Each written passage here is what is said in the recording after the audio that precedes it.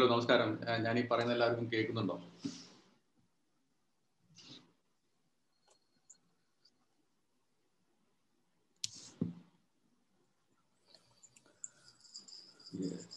കേൾക്കാം കേൾക്കാം. Very good thank you thank you നമ്മൾ ഒരു പതിനൊന്ന് മണിക്ക് നമ്മൾ സ്റ്റാർട്ട് ചെയ്യും. അതിന് മുന്നേ നമുക്ക് ആരെങ്കിലും എന്തെങ്കിലും സംസാരിക്കാൻ സംസാരിക്കാം. നിങ്ങൾ ഓരോരുത്തരും എവിടെ നിന്നാണ് ലൊക്കേഷൻ ഏതാന്ന് ടൈപ്പ് ചെയ്ത് നന്നായിരുന്നു where from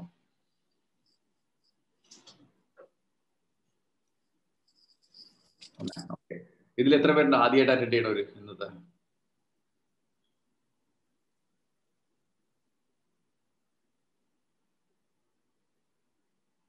okay thank you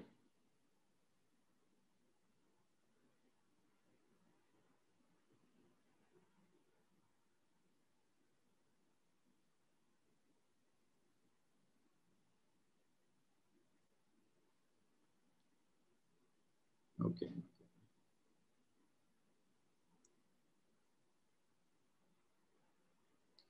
നിങ്ങൾ വീഡിയോ ഇതിന് മുന്നേ കണ്ടിരുന്നതാണോ? അതോ ഇപ്പോഴത്തെങ്ങാനും വന്ന് കണ്ടുപെട്ടതാണോ? Hi Bhavesh.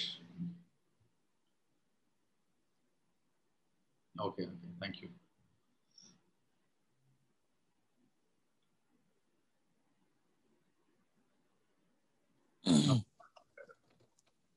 Namaste sir. ഞാൻ ഞാൻ ഒന്ന് പറഞ്ഞിരുന്നു സാറിനെ വിളിക്കാന്ന് പറഞ്ഞു. വിളിക്കാൻ പറ്റിയിട്ടില്ല. തിരക്കാണ്.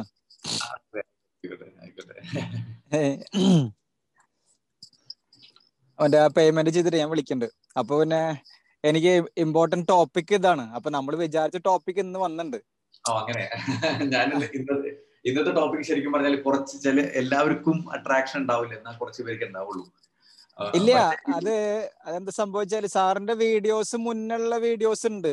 ഈ ഡെപ്റ്റ് എങ്ങനെ ഒഴിവാക്കാം എന്നുള്ള കാര്യത്തിലെ കുറിച്ചൊരു വീഡിയോസ് സാർ മുന്നേ ചെയ്തിരുന്നു യൂട്യൂബിൽ. അത് ഞാൻ ഒരുപാട് പേർക്ക് ഫോളോ അപ്പ് ചെയ്തിട്ട് അയച്ചു കൊടുത്തിരുന്നു.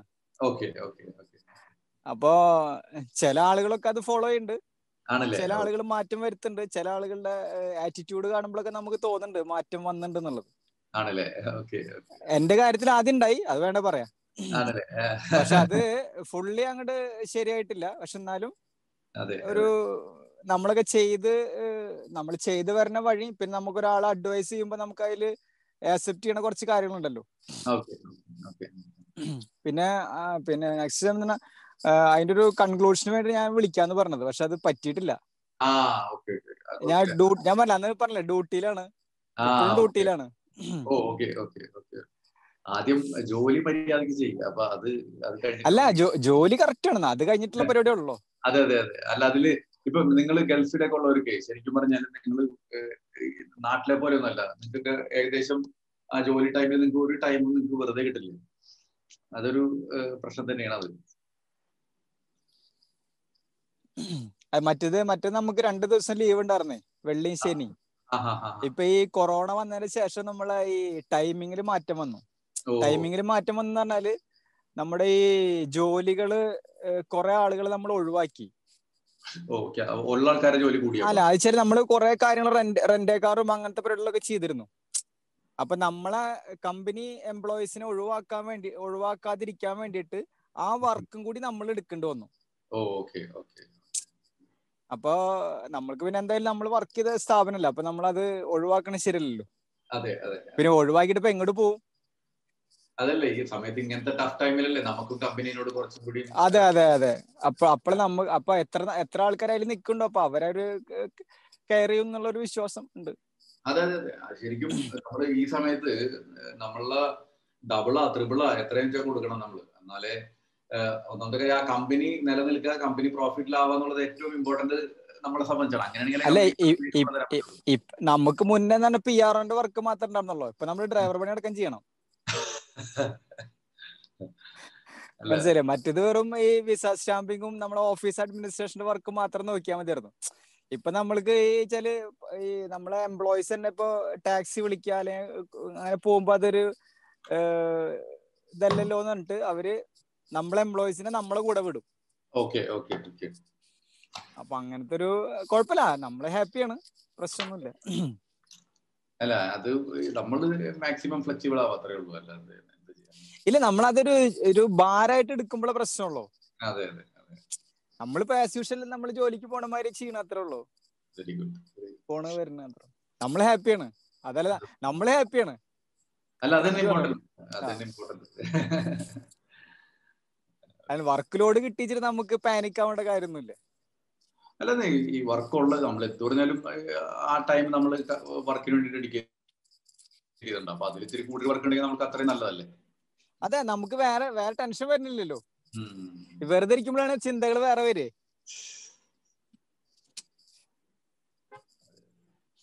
എവിടെന്നാണ് നിങ്ങളുടെ നാട്ടിൽ? ഞാൻ ഗുരുവായൂരാണ്. ഗുരുവായൂർ ചാവക്കാട്. ചാവക്കാട്. Very good. അമ്പലത്തിന്റെ അവിടെ നിന്ന് ഒരു രണ്ടര കിലോമീറ്റർ മനസ്സിലായി.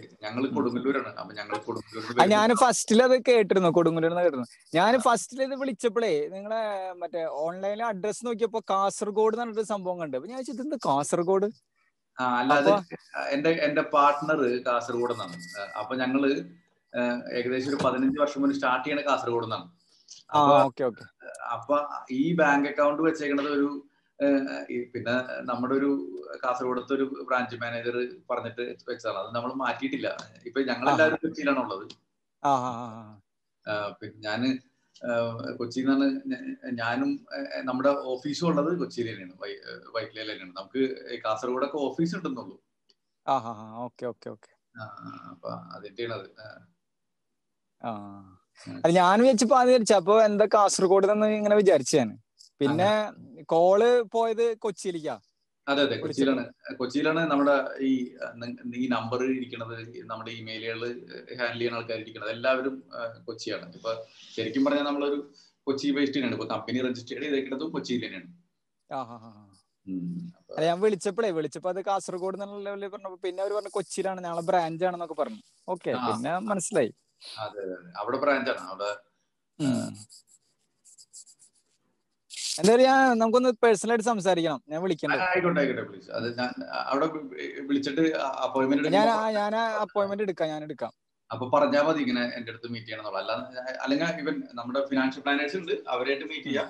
ഇൻ കേസ് സ്പെസിഫിക് ആണ് പറയണമെന്നുണ്ടെങ്കിൽ പറഞ്ഞാൽ മതി അത് അതനുസരിച്ച് ചെയ്യും.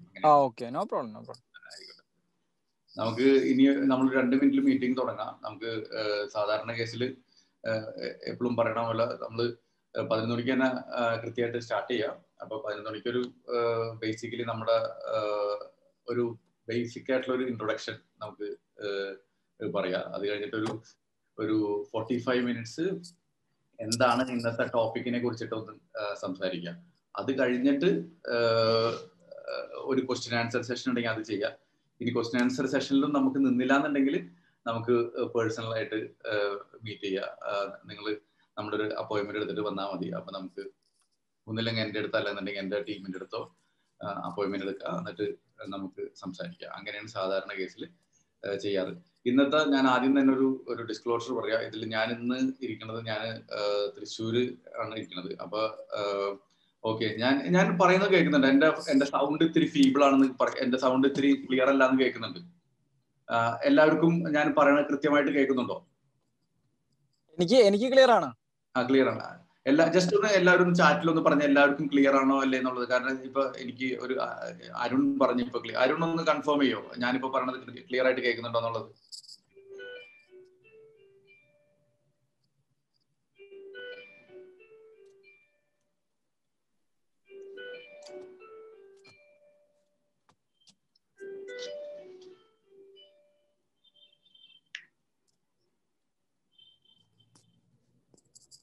Okay okay all good clear okay fine okay thank you thank you അപ്പൊ പതിനൊന്ന് മണിയായി നമുക്ക് തുടങ്ങാം. അപ്പൊ ഇന്ന് ഇന്ന് വെച്ചാൽ ഞാൻ ഇപ്പൊ തൃശ്ശൂരാണ്. അപ്പൊ ഇതിന് ഇന്റർനെറ്റിന്റെ ഒരു ഒരു ഇത്തിരി ഒരു ബുദ്ധിമുട്ട് ബുദ്ധിമുട്ടുണ്ടാവാനും ചാൻസ് ഉണ്ട് അപ്പൊ നിങ്ങൾക്ക് എപ്പോഴാണ് ഞാൻ ക്ലിയർ അല്ല എന്ന് തോന്നുന്നുണ്ടെങ്കിൽ ഒന്നില്ലാന്നുണ്ടെങ്കിൽ പറയാം. ഇൻ കേസ് ഞാൻ സ്ക്രീൻ ഷെയർ ചെയ്തിരിക്കുന്ന ടൈമിൽ ചാറ്റ് ചിലപ്പോൾ കാണില്ല. അങ്ങനെ ജസ്റ്റ് ഒന്ന് ആരെങ്കിലും അൺമ്യൂട്ട് ചെയ്തിട്ടൊന്ന് പറഞ്ഞാൽ മതി. അപ്പൊ എനിക്ക് മനസ്സിലാവും. നിങ്ങൾക്ക് ക്ലിയർ ആണോ ഇല്ലേ എന്നുള്ളത്. ഞാൻ എന്നാലും കമ്പ്യൂട്ടറിന് കുറച്ചുകൂടി ക്ലോസ് ആയിട്ടിരുന്ന് സംസാരിക്കാൻ നോക്കാം. ഓക്കെ സോ ലെറ്റ് സ്റ്റാർട്ട് അപ്പൊ ഇന്നത്തെ നമ്മൾ സംസാരിക്കാൻ പോണ് എങ്ങനെ ഒരു ഡെറ്റ് ഫ്രീ ആയിട്ട് ഇരിക്കാന്നുള്ളതിനെ കുറിച്ചാണ് നമ്മൾ ഇന്ന് മെയിൻ ആയിട്ട് സംസാരിക്കുന്നത് അപ്പൊ ഞാൻ ഇന്ന് ശരിക്കും ഞാൻ ഏകദേശം ഒരു ഇരുപത് പേരെയൊക്കെ പ്രതീക്ഷിച്ചുള്ളൂ. പക്ഷെ ഇന്ന് ഇപ്പൊ തന്നെ സ്റ്റാർട്ടിങ്ങിൽ തന്നെ ഒരു ഇരുപത്തെട്ട് പേരുണ്ട്. അപ്പൊ എനിക്ക് തോന്നുന്നു ഇരുപത്തെട്ട് പേർക്കും ഒരു നല്ലൊരു എക്സ്പീരിയൻസ് ആയിരിക്കും. അതേപോലെ തന്നെ നല്ലൊരു മോട്ടിവേഷൻ ആയിരിക്കും എന്നുള്ളൊരു പ്രതീക്ഷയോടെ ഞാൻ സ്റ്റാർട്ട് ചെയ്യണം. അപ്പോൾ തുടക്കത്തിൽ തന്നെ ഞാൻ നിങ്ങൾക്ക് എല്ലാവർക്കും എന്നെ അറിയാം എന്നുള്ളൊരു വിശ്വാസത്തോടെ തുടങ്ങുന്ന എല്ലാവരും ഒന്ന് ജസ്റ്റ് ഒന്ന് മ്യൂട്ട് ചെയ്തേക്ക്. ഇൻ കേസ് എന്തെങ്കിലും സംസാരിക്കണമെങ്കിൽ അൺമ്യൂട്ട് ചെയ്താൽ മതി. ഇതിനിടയിൽ ഞാൻ ഓരോന്നും സംസാരിക്കുന്ന ടൈമിൽ നിങ്ങൾക്ക് എന്തെങ്കിലും ക്വസ്റ്റ്യൻസ് ഉണ്ടെങ്കിൽ ചാറ്റിൽ ചോദിച്ചാൽ മതി. ഞാനപ്പോൾ ഒരു ക്വസ്റ്റ്യൻ ആൻസർ സെഷൻ ആകുമ്പോൾ അത് അഡ്രസ് ചെയ്തോളാം. ഇനി അതല്ല നിങ്ങൾക്ക് ക്വസ്റ്റ്യൻ ആൻസർ സെഷനിൽ നിങ്ങൾക്ക് നിങ്ങളുടെ ഫോൺ അൺമ്യൂട്ട് ചെയ്തിട്ട് എന്നോട് സംസാരിക്കണമെങ്കിൽ അതും സംസാരിക്കാം. അപ്പോൾ ഒരു ഫിഫ്റ്റീൻ മിനിറ്റ്സ് ലാസ്റ്റ് ഒരു ഒരു ലെവൻ ഫോർട്ടി ഫൈവ് തുടങ്ങി ട്വൽവ് വരെ നമുക്ക് ക്വസ്റ്റ്യൻ ആൻസർ സെഷനിൽ സംസാരിക്കും. ഇന്ന് ഞാൻ കുറച്ചും കൂടി സ്പീഡിൽ സംസാരിക്കാനാണ് ഉദ്ദേശിക്കുന്നത്. കാരണം കൂടുതലും ഒരു ഇന്ററാക്ഷൻ ആണ് ഞാൻ ആഗ്രഹിക്കുന്നത്. കാരണം ഇന്ററാക്ഷനിലായിരിക്കും കുറച്ചും കൂടി നമുക്ക് കുറച്ചും കൂടി ക്ലിയർ ആയിട്ട് സംസാരിക്കാനായിട്ട് പറ്റാന്ന് എനിക്ക് തോന്നുന്നു. അപ്പം ഇതിൽ എന്റെ പേര് നിഖിൽ ഗോപാലകൃഷ്ണൻ. അപ്പൊ ഞാൻ എന്താ പറയാ എന്റെ കരിയർ സ്റ്റാർട്ട് ചെയ്യണത് ഞാൻ പോസ്റ്റ് ഗ്രാജുവേഷൻ കഴിഞ്ഞ് ഞാൻ ബാംഗ്ലൂരായിരുന്നു. അപ്പൊ അന്ന് ഞാൻ തോംസൺ റോയിറ്റേഴ്സ് എന്ന് പറഞ്ഞ ഒരു കമ്പനിയിൽ ഇപ്പൊ നിങ്ങൾക്ക് ഗ്രാഫും കാര്യങ്ങളൊക്കെ കാണില്ലേ സി എൻ ബി സിയിലൊക്കെ അതിന്റെയൊക്കെ ഡാറ്റ കൊടുക്കുന്നത് ഞങ്ങളായിരുന്നു. അപ്പൊ ഞാനാണ് ഗ്ലോബൽ ഇക്വിറ്റി മാർക്കറ്റിന്റെ കമ്മോഡിറ്റി മാർക്കറ്റിന്റെ ഒക്കെ ഡാറ്റ ഹാൻഡിൽ ചെയ്തിരുന്നത് അവിടെ. എന്റെ കീഴിലൊരു ടീം ഉണ്ടായിരുന്നു. ഞങ്ങളായിരുന്നു all global equity and commodity data handle ചെയ്തിരുന്ന ആളുകൾ അതൊരു പത്ത് വർഷം കഴിഞ്ഞു. പത്ത് വർഷം കഴിഞ്ഞപ്പോൾ എന്റെ ഫ്രണ്ട്സ് ഒക്കെ എം ബി എ ഉണ്ടായിരുന്ന ഫ്രണ്ട്സ് എല്ലാവരും കൂടി പെൻഡാഡ് സെക്യൂരിറ്റീസ് എന്ന് പറഞ്ഞ ഒരു നാഷണൽ സ്റ്റോക്ക് എക്സ്ചേഞ്ചിന്റെ ബോംബെ സ്റ്റോക്ക് എക്സ്ചേഞ്ചിന്റെ ഡയറക്ട് ബ്രോക്കർ ആവാം എന്ന് ഒരു തീരുമാനം എടുക്കുകയും എന്റെ ഫ്രണ്ട്സൊക്കെ ഒരു അവരൊരു പത്ത് പതിനഞ്ച് വർഷമായിട്ട് മാർക്കറ്റിൽ ഉണ്ടായിരുന്ന ആൾക്കാരാണ്. സബ് ബ്രോക്കേഴ്സ് ആയിട്ട് ഇൻഷുറൻസും മ്യൂച്വൽ ഫണ്ടും സ്റ്റോക്കും എല്ലാം ചെയ്തുകൊണ്ടിരിക്കുകയാണ്. അപ്പൊ ഞാനും കൂടി കൂടി ഞങ്ങൾ ബോംബെയിൽ നിന്ന് പെൻഡാഡ് സെക്യൂരിറ്റീസ് എന്ന് പറഞ്ഞൊരു സ്ഥാപനം ആറു വർഷം മുന്നേ തുടങ്ങി. അങ്ങനെ ഇത് കഴിഞ്ഞ് ഞങ്ങൾ ആദ്യം ഏകദേശം ഒരു ഞങ്ങൾക്ക് ഒത്തിരി സബ് ബ്രോക്കേഴ്സ് ഒക്കെ ഉണ്ട്. അപ്പൊ ഇവിടെ ബാംഗ്ലൂർ ആയാലും ബോംബെ ആയാലും പിന്നെ കേരളം കോഴിക്കോടും അവിടെ തിരുവനന്തപുരത്തൊക്കെ ആയിട്ട് ഞങ്ങൾ ബ്രാഞ്ചൊക്കെ തുടങ്ങി.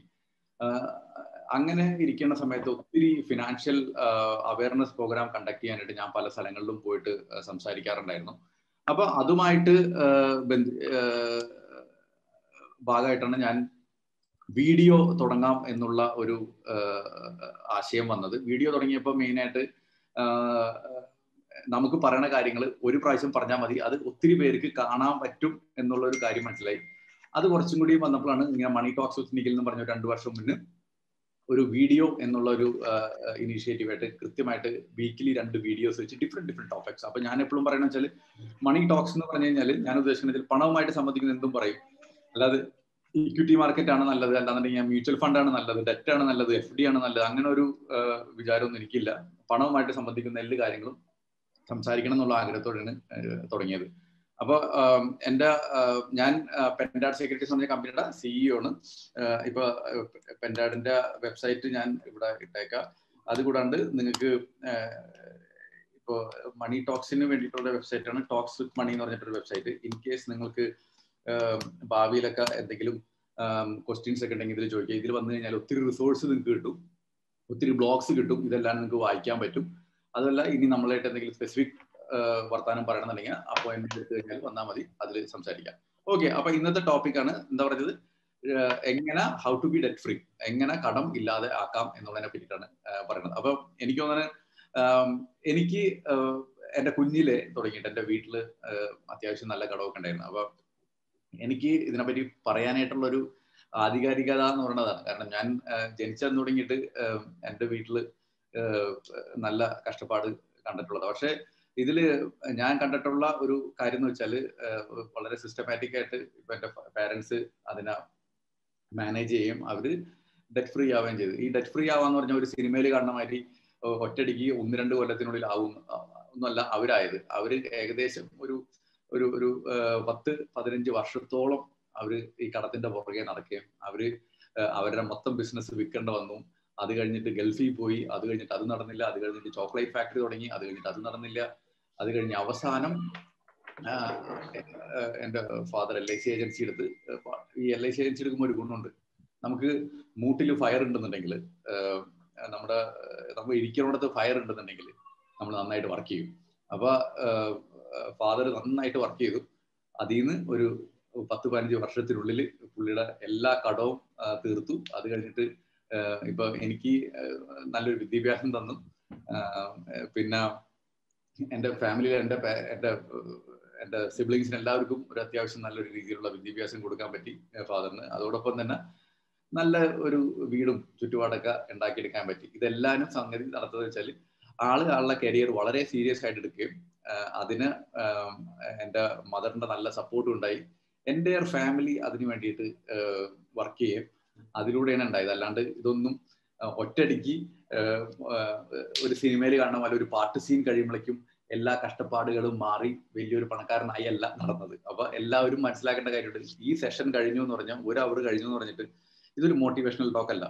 ഇത് ഒരു ഒരു മെത്തേഡ് പറയാൻ വേണ്ടി മാത്രമാണ് ഞാനിപ്പോൾ സംസാരിക്കാൻ പോകുന്നത് അപ്പൊ നിങ്ങൾ എല്ലാവരും ഈ സെഷൻ കഴിഞ്ഞ് ഇനി ഒരു മാസം രണ്ട് മാസം അല്ലെങ്കിൽ ഒരു ഒരു വർഷം കഴിയുമ്പോഴേക്കും നിങ്ങളുടെ കടത്തിൽ നിന്ന് മൊത്തത്തിൽ മാറാനുള്ള ഒരു മാജിക് ആണ് ഒരു ക്യാപ്സ്യൂൾ ആണ് പ്രതീക്ഷിച്ചിരിക്കണമെന്നുണ്ടെങ്കിൽ സോറി ഡിസപ്പോയിന്റിംഗ് ആണ്.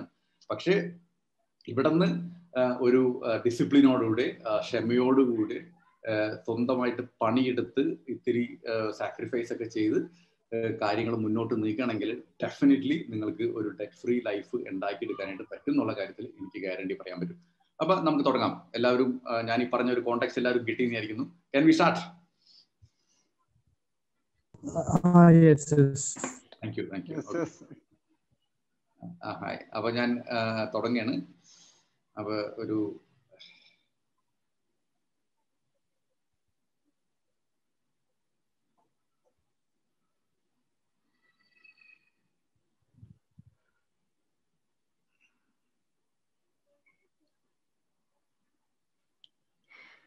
okay how to be debt debt free അപ്പൊ നമ്മൾ ഈ കടം വീട്ടണം എന്ന് ഉണ്ടെന്നുണ്ടെങ്കിൽ നമ്മൾ വളരെ ക്ലിയർ ആയിട്ട് അറിയേണ്ട കാര്യം വെച്ചാൽ നമ്മൾക്ക് എന്താണ്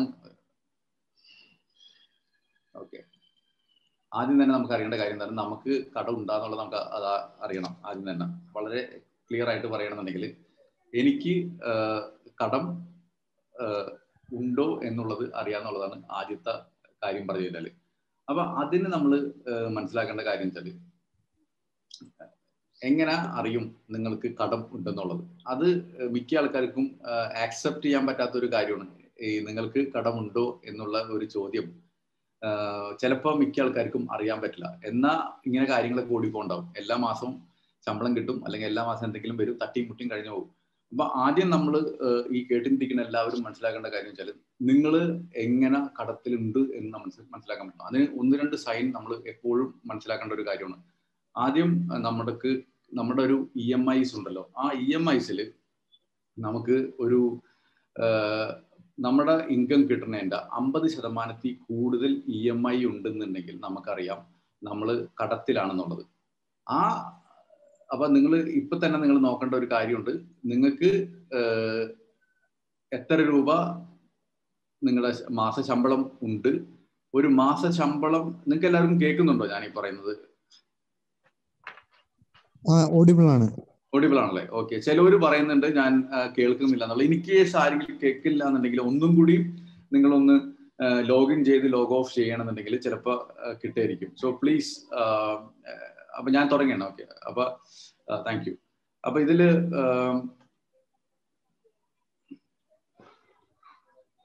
ഓക്കെ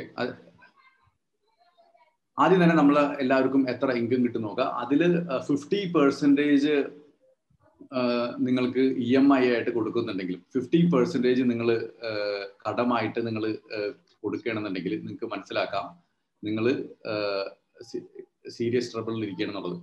കാരണം ഇത് ഏറ്റവും വലിയൊരു പ്രശ്നം തന്നെയാണ്. കാരണം നിങ്ങൾക്ക് ഇപ്പൊ എത്ര രൂപയാണ് ശമ്പളം എന്നുള്ളത് നിങ്ങൾക്ക് എല്ലാവർക്കും അറിയാം.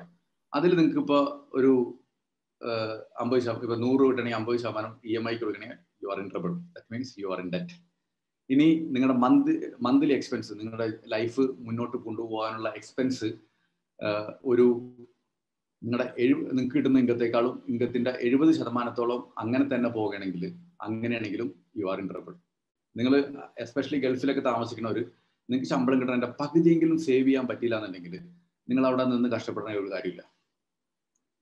കാരണം നിങ്ങൾ നിങ്ങളുടെ സ്വന്തം നാട് ഉപേക്ഷിച്ച് നിങ്ങളുടെ ബന്ധുക്കളെയൊക്കെ മറന്ന് നിങ്ങൾ പുറത്ത് നിൽക്കണം അറ്റ്ലീസ്റ്റ് ഫിഫ്റ്റി പെർസെന്റേജ് നിങ്ങൾക്ക് സേവ് ചെയ്യാൻ പറ്റണം.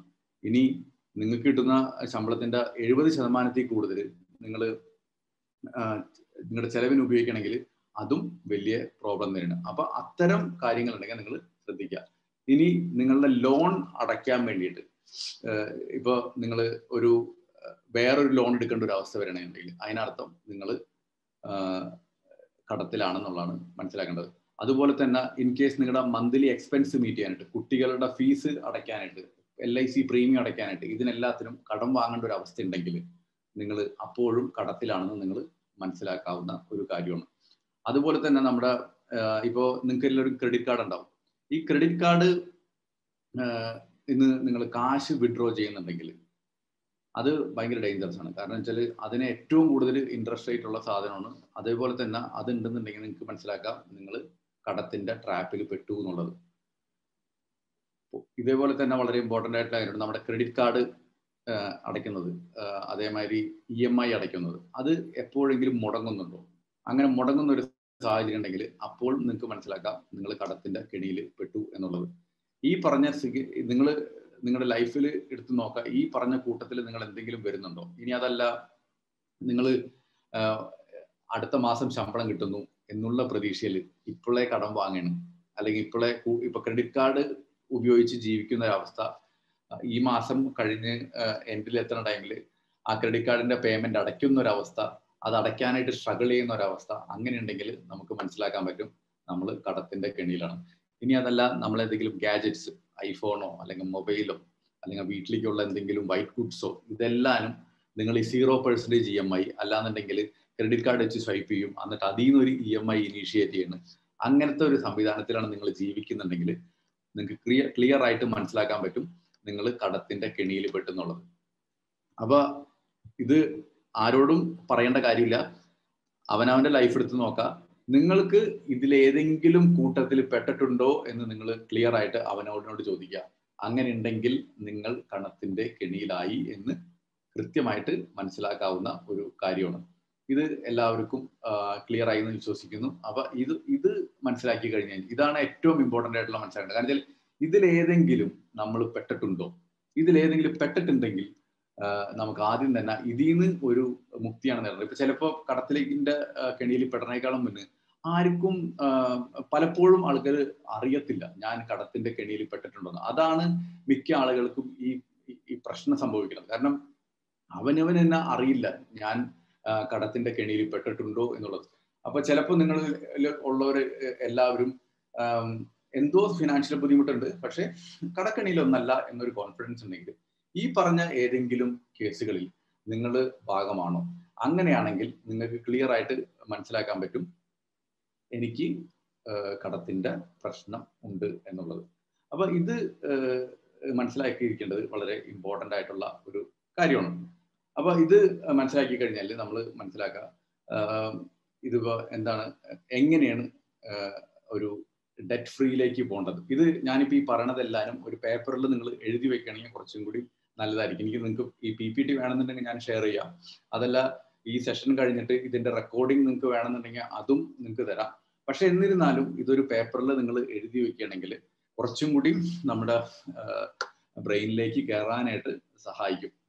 അപ്പൊ ആദ്യം നമ്മൾ ശ്രദ്ധിക്കേണ്ട കാര്യം വെച്ചാൽ വളരെ ക്ലിയർ ആയിട്ട് ഒരു ഡിസിഷൻ എടുക്കാം ഞാൻ കടത്തിൽ നിന്ന് മുക്തി നേടുന്നുള്ളത്. ആദ്യം തന്നെ ഐഡന്റിഫൈ ചെയ്യുക എനിക്ക് കടമുണ്ടോ എന്നുള്ളത് മനസ്സിലാക്കി വയ്ക്കുക. കടമുണ്ടെന്ന് മനസ്സിലാക്കി കഴിഞ്ഞാൽ ഞാൻ കടത്തിൽ നിന്ന് മാറാനായിട്ട് ഉള്ള സ്ട്രോങ് ആയിട്ടുള്ള കമ്മിറ്റഡ് ആയിട്ടുള്ള ഒരു ഡിസിഷൻ എടുക്കാം കാരണം ഇത് അടുത്ത മാസം ശരിയാക്കാം അടുത്ത മാസം ശരിയാക്കാന്ന് പറഞ്ഞിട്ടായിരിക്കും മിക്ക ആൾക്കാരും നമ്മുടെ മാസങ്ങൾ ചെലവാക്കി പോകണം അല്ലാന്നുണ്ടെങ്കിൽ ഇപ്പൊ ഒരു കോവിഡ് സിറ്റുവേഷൻ കഴിയും. അത് കഴിയുമ്പോൾ എന്റെ ഇൻകം കൂടും. അത് കഴിയുമ്പോൾ എന്റെ ബിസിനസ് കൂടും. എന്നിട്ട് ശരിയാക്കാം എന്ന് പറയുന്നേക്കാളും കൂടുതലായിട്ട് വളരെ കൃത്യമായിട്ട് ഒരു ഡിസിഷൻ എടുക്കുക. ഞാൻ ഡെറ്റ് ഫ്രീ ആവാൻ പോകുന്നു എന്നാണ് ആ ഡെറ്റ് ഫ്രീ ആവാൻ പോകുന്നുള്ള ഡിസിഷൻ എടുക്കുക. അതുപോലെ തന്നെ വളരെ ഇമ്പോർട്ടന്റ് ആയിട്ട് ചെയ്യേണ്ട ഒരു കാര്യമുണ്ട്. എല്ലാ കടങ്ങളും എഴുതി വയ്ക്കുക എത്ര രൂപ ഔട്ട്സ്റ്റാൻഡിങ് ഉണ്ട്? അതേമാതിരി എത്ര രൂപയാണ് അതിന്റെ ഇ എം ഐ എന്നുള്ളത്. നമ്മൾ എത്ര രൂപയ്ക്ക് ലോൺ എടുത്തു എത്ര രൂപയ്ക്ക് ഇനി ബാക്കിയുണ്ട് എന്നുള്ളത് അതും ഇനി അതിന്റെയൊക്കെ ഇൻട്രസ്റ്റ് റേറ്റ് എത്രയുണ്ടെന്നുള്ള കൃത്യമായിട്ട് എഴുതി വെക്കാം. ഒരു പേപ്പറിൽ എഴുതി വെക്കാം. ഇപ്പൊ ലോണിന്റെ പേരെന്താണ്? ഹോം ലോൺ അതേമാതിരി എത്ര രൂപ ലോൺ ബാക്കിയുണ്ട്? എത്രയാണ് അതിന്റെ ഇൻട്രസ്റ്റ് എത്രയാണ് ഇ എം ഐ എന്ന് എഴുതി വെച്ച് കഴിഞ്ഞാൽ നിങ്ങൾക്ക് ക്ലിയർ ആയിട്ട് മനസ്സിലാവും എത്ര രൂപ കടത്തിലാണെന്നുള്ളത്. മിക്ക ആൾക്കാരുടെയും ഏറ്റവും വലിയ പ്രശ്നം വെച്ചാൽ കുറെ കടം ഉണ്ടാവും. പക്ഷെ എത്ര രൂപ കൃത്യമായിട്ട് അടച്ച് വൺ ടൈം സെറ്റിൽമെന്റ് ആക്കണം എന്നുള്ളതിനെ പറ്റി യാതൊരു ഐഡിയ ഉണ്ടാവില്ല. കാരണം അവർക്ക് തന്നെ ഉറപ്പാണ് ഞാൻ ഈ കടം ഇങ്ങനെ തന്നെ പോകുന്നുള്ളത് അതിനേക്കാൾ ഉപരി നമ്മൾക്ക് കൃത്യമായിട്ടുള്ള ധാരണ ഈ കടം ഇന്ന ദിവസം ഇത്ര നാളത്തിനുള്ളിൽ ഞാൻ അത് തീർത്തിരിക്കുന്നുള്ളത്. അതിന് നമ്മൾ ക്ലിയർ ആയിട്ട് അറിയേണ്ടത് വെച്ചാൽ ഇത്തിരി പെയിൻഫുൾ ആയിരിക്കും പക്ഷെ എത്ര രൂപ കടമുണ്ടെന്നുള്ളത് കൃത്യമായിട്ട് എഴുതി വെക്കുക എന്നുള്ളതാണ് ആദ്യം ചെയ്യേണ്ടത്. അതുപോലെ തന്നെ നിങ്ങൾ വളരെ ക്ലിയർ ആയിട്ട് നോക്കണമെങ്കിൽ എത്ര രൂപയാണ് നിങ്ങളുടെ മന്ത്ലി ഇൻകം എത്ര രൂപ നിങ്ങൾക്ക് മാസം കിട്ടുന്നുണ്ട്? ഈ മന്ത്ലി ഇൻകം മാത്രം മതിയോ? നിങ്ങളുടെ ഇ എം ഐ അടച്ച് തീർക്കാനായിട്ട് എന്നുള്ളത് കൃത്യമായിട്ട് നിങ്ങൾ അറിഞ്ഞിരിക്കണം. നിങ്ങളുടെ കടം വീട്ടാനായിട്ട് ഇപ്പൊ കിട്ടുന്ന ഇൻകം മതിയോ? ഇല്ലെങ്കിൽ ആ ഇൻകം കൂട്ടിയേ പറ്റൂ. കാരണം നമുക്കിപ്പോ മാസം ഒരു അമ്പതിനായിരം രൂപ ഇ എം ഐ അടയ്ക്കണം. പക്ഷെ നിങ്ങളുടെ ഇൻകം നാൽപ്പതിനായിരം രൂപ ഉള്ളതെന്നുണ്ടെങ്കിൽ നിങ്ങൾക്ക് അത് കഴിഞ്ഞിട്ട് നിങ്ങൾക്ക് നാൽപ്പതിനായിരം രൂപ കഴിഞ്ഞിട്ട് ജീവിക്കാൻ വേണം ഇ എം ഐ അടയ്ക്കാൻ വേണം. എങ്ങനെ പറ്റും? അപ്പൊ ആ സത്യം മനസ്സിലാക്കാൻ നിങ്ങളുടെ കറണ്ട് ഇൻകം എത്രയാണ്? അത് വെച്ചിട്ട് പറ്റില്ല എന്നുണ്ടെങ്കിൽ അത് കൂട്ടാം. ആ ഇൻകം കൂട്ടാം. അല്ലാന്നുണ്ടെങ്കിൽ നിങ്ങൾ കടത്തിൽ നിന്ന് ഒരിക്കലും മുക്തി നേടില്ല. കാരണം ഈ ഇ എം ഐ അടയ്ക്കാൻ പറ്റിയില്ലെങ്കിൽ മിക്കപ്പോഴും പറ്റിപ്പോണെന്ന് പിന്നെ അത് കൂട്ടുപലിശയായി കൂട്ടുപലിശയായിട്ട് ഇത് പോയിക്കൊണ്ടിരിക്കും. ഇപ്പൊ എനിക്ക് പണ്ടൊരിക്കൽ ഒരു നമ്മളൊരു ഒരു ദിവസം എല്ലാവർക്കും കോൾ ചെയ്തിട്ട് സംസാരിക്കാന്ന് പറഞ്ഞിട്ട് അവസരം കൊടുത്തിരുന്നു. അപ്പൊ അന്ന് ഒരു ലേഡി എന്നെ വിളിച്ചു. അവർക്കാണെന്നുണ്ടെങ്കിൽ അവർ പറഞ്ഞ കാര്യം വെച്ചാൽ ഞാൻ ലോൺ എടുത്തിട്ടുണ്ട്. എനിക്ക് ലോൺ ഇതുവരെ അടച്ചിട്ടും തീരുന്നില്ല. ഇങ്ങനെ കൂടിക്കൊണ്ടിരിക്കുകയാണ് കുറെ ഹലോ? സൗണ്ട് പോകുന്നുണ്ടോ ഓക്കെ ഓക്കെ എനിക്ക് ഞാൻ ഞാൻ സിസ്റ്റത്തിന്റെ അടുത്തിരുന്ന് സംസാരിച്ചു നോക്കാം. അപ്പൊ അങ്ങനെയാണെങ്കിൽ എല്ലാവർക്കും കിട്ടുന്നു ഇപ്പൊ ഇപ്പൊ ഞാനൊന്ന് ഹലോ? ആക്ച്വലി എനിക്ക് ആക്ച്വലി നിഖിൽ സാറിന്റെ ഓഡിയോ കറക്റ്റ് ആണ്. എനിക്ക് തോന്നുന്നു പുള്ളിയുടെ നെറ്റ് ഡൗൺ ആവുന്നു പുള്ളി പറയണ ബ്രേക്ക് ആവുണ്ടായി അതെ അതെ. ബാക്കി നമുക്ക് ക്ലിയർ ആണ്. ആണല്ലേ? ആയിക്കോട്ടെ താങ്ക് യു താങ്ക് യു അപ്പൊ ഞാൻ ഞാൻ എന്ത് പറഞ്ഞാൽ ഞാൻ ഒന്ന് കമ്പ്യൂട്ടറിന് അടുത്തിരുന്നിട്ട് ഞാൻ സംസാരിക്കാൻ നോക്കാം. എന്ത് പറഞ്ഞാൽ ഇതിന്റെ ഒരു ഓഡിയോ ക്ലിയർ ആണ്.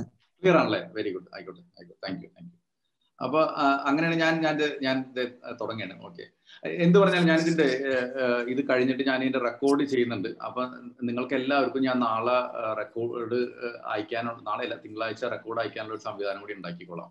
ഓക്കെ ഓക്കെ ഞാൻ ഞാൻ തുടങ്ങിയിട്ടുണ്ട് അപ്പൊ ഇതിൽ അപ്പൊ ഇതിൽ വളരെ സിമ്പിൾ ആയിട്ട് പറഞ്ഞാൽ നമ്മൾ ഇൻകം എത്രയാണെന്ന് വെച്ചാൽ അതേപോലെ തന്നെ നമുക്ക് എത്രയാണ് നമ്മുടെ എക്സ്പെൻസ് എന്നുള്ളത് മനസ്സിലാക്കുകയും അതിൽ നിന്ന് കറണ്ട് ആയിട്ട് വല്ല എന്തെങ്കിലും എക്സ്പെൻസ് കുറയ്ക്കാൻ പറ്റുന്നുണ്ടെങ്കിൽ ആ എക്സ്പെൻസ് കുറയ്ക്കാനുള്ള സംവിധാനം കൂടി ഉണ്ടാക്കാം. ഈ അനാവശ്യമായിട്ടുള്ള ചെലവുകൾ എന്തൊക്കെയാണ്? അതിനെല്ലാത്തിനെയും കുറയ്ക്കാം. അതുപോലെ വളരെ നമുക്കറിയാൻ പറ്റുമല്ലോ എത്ര ഇൻകം എന്നുള്ളത്. അത് മനസ്സിലാക്കി കഴിഞ്ഞാൽ എത്ര രൂപ നിങ്ങളുടെ ഒരു എത്ര എക്സ്ട്രാ ഇൻകം നിങ്ങൾക്ക് ഉണ്ടാക്കാനുള്ള വഴികൾ കണ്ടെത്താം. അത് ഇംപ്ലിമെന്റ് ചെയ്യുക എക്സ്ട്രാ ഇൻകം ഉണ്ടാക്കിക്കൊണ്ടിരിക്കുക വളരെ ഇമ്പോർട്ടന്റ് ആയിട്ട് കാര്യം. ഇതേപോലെ തന്നെ വളരെ നമുക്ക് ഉറപ്പിക്കേണ്ട കാര്യമുണ്ട്. ഒന്ന് ഹെൽത്ത് ഇൻഷുറൻസ് ഒന്ന് ടേം ഇൻഷുറൻസ് എടുത്ത് വയ്ക്കുക കാരണം ഹെൽത്ത് ഇൻഷുറൻസ് എടുത്ത് വെക്കേണ്ട കാര്യം അല്ലെങ്കിൽ ഈ സമയത്ത് നമുക്കോ നമ്മുടെ ഫാമിലിക്കോ എന്തെങ്കിലും അസുഖവും മറ്റും സംഭവിക്കണമെങ്കിൽ ആകപ്പാടെ കടത്തിലാണ്. അതിൽ കൂടെ അതിന്റെയും കൂടിയും ഈ അസുഖത്തിന്റെയും കൂടിയും എക്സ്പെൻസ് നമുക്ക് മീറ്റ് ചെയ്യാനുള്ള ബുദ്ധിമുട്ടുണ്ടാവും. അപ്പൊ അത് തടയാനായിട്ട് ഈ ഹെൽത്ത് ഇൻഷുറൻസ് എടുത്തു വെക്കുക എന്നുള്ളത് വളരെ ഇമ്പോർട്ടന്റ് ആണ്. അതുപോലെ തന്നെ ഇൻ കേസ് നമ്മൾ വല്ല മരണപ്പെട ഉണ്ടായി കഴിഞ്ഞാൽ നമ്മുടെ ഈ കടഭാരം മൊത്തം ഫാമിലി അടുത്ത് വരികയും ചെയ്യും. അതുപോലെ തന്നെ ഇതിൽ നിന്ന് ഒരു വേറെ നമ്മുടെ ഡിപ്പെൻഡൻസ് ആരെങ്കിലും ഉണ്ടെങ്കിൽ അവർക്ക് ഇൻകം പ്രൊഡ്യൂസ് ചെയ്യാൻ പറ്റാത്ത ആൾക്കാരാണെങ്കിൽ അവരും ആകെ കഷ്ടപ്പാടിലാവും.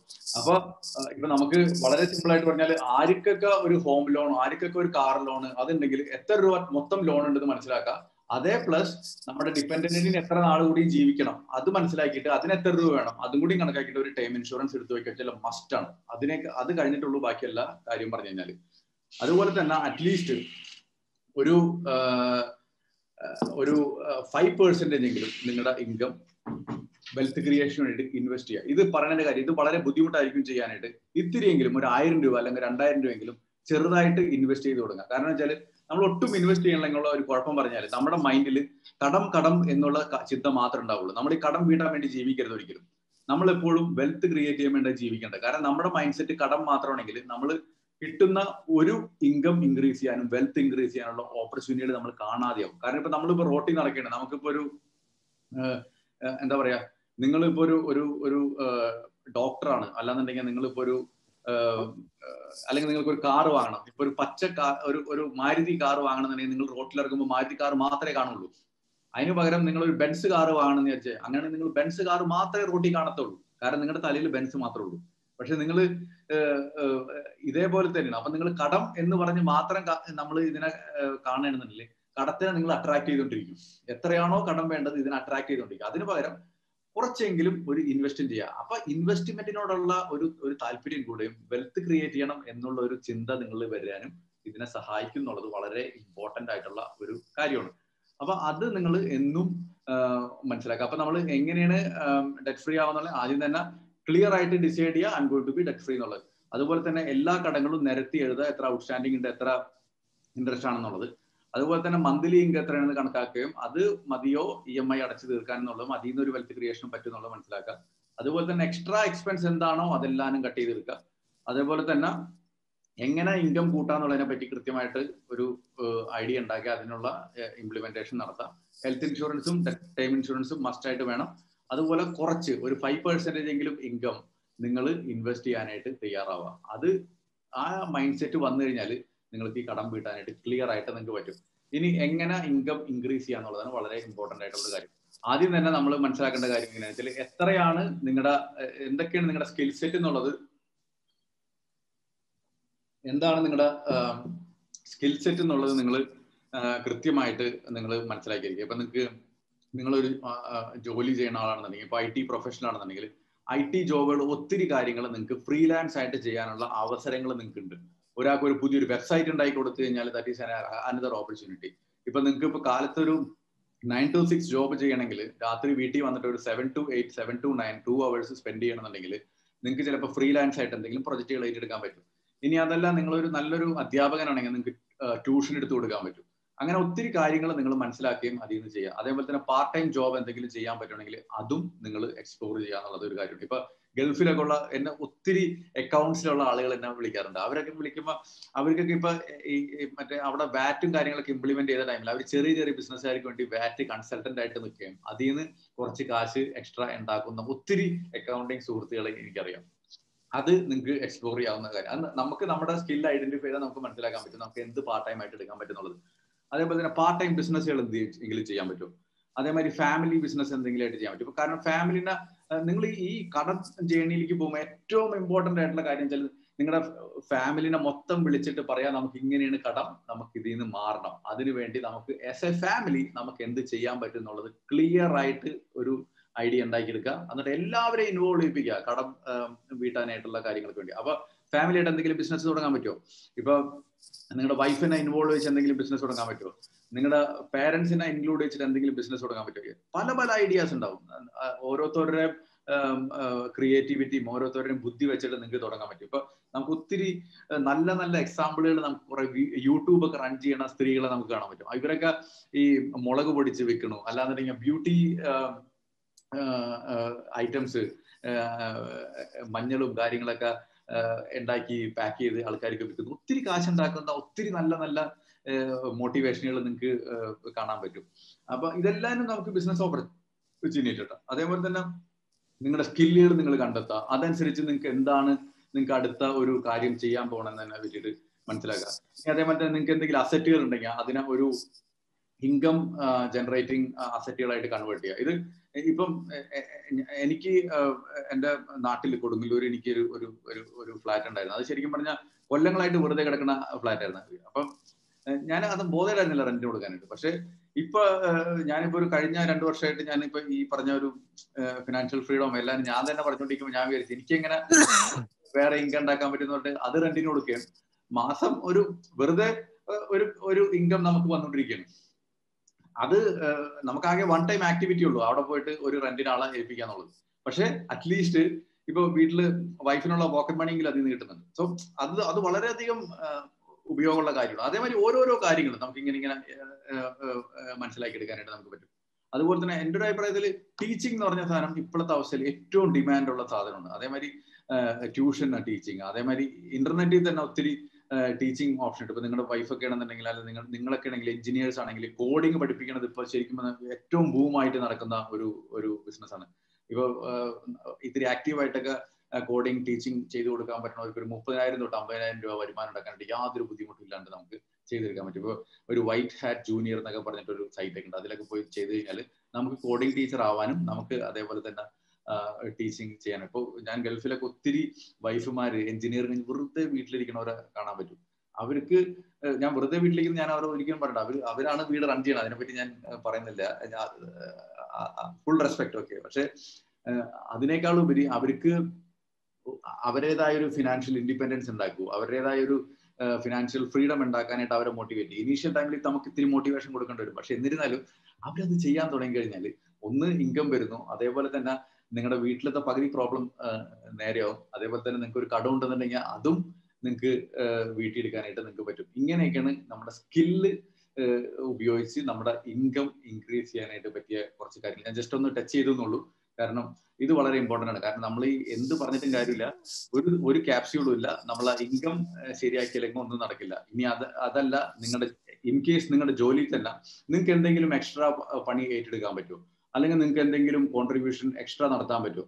എന്നിട്ട് അതിൽ നിന്ന് ഒരു പ്രൊമോഷൻ ഉണ്ടാക്കിയെടുക്കാൻ പറ്റുമോ? അതിൽ നിന്ന് ഒരു ഇൻകം കൂട്ടിയെടുക്കാൻ പറ്റുമോ? നിങ്ങൾ എന്തെങ്കിലും കൂടുതൽ റെസ്പോൺസിബിലിറ്റി നിങ്ങളുടെ നിങ്ങളുടെ ഓഫീസിൽ തന്നെ ചെയ്തെടുക്കാൻ പറ്റുമോ? ചെയ്യൂ. കാരണം വെച്ചാൽ ഏറ്റവും കൂടുതൽ ഇൻവെസ്റ്റ്മെന്റ് നിങ്ങൾ ചെയ്യേണ്ടത് നിങ്ങളുടെ ഓൺ ബിസിനസ്സിൽ അല്ലെങ്കിൽ നിങ്ങളുടെ ഓൺ ജോലി സ്ഥലത്താണ്.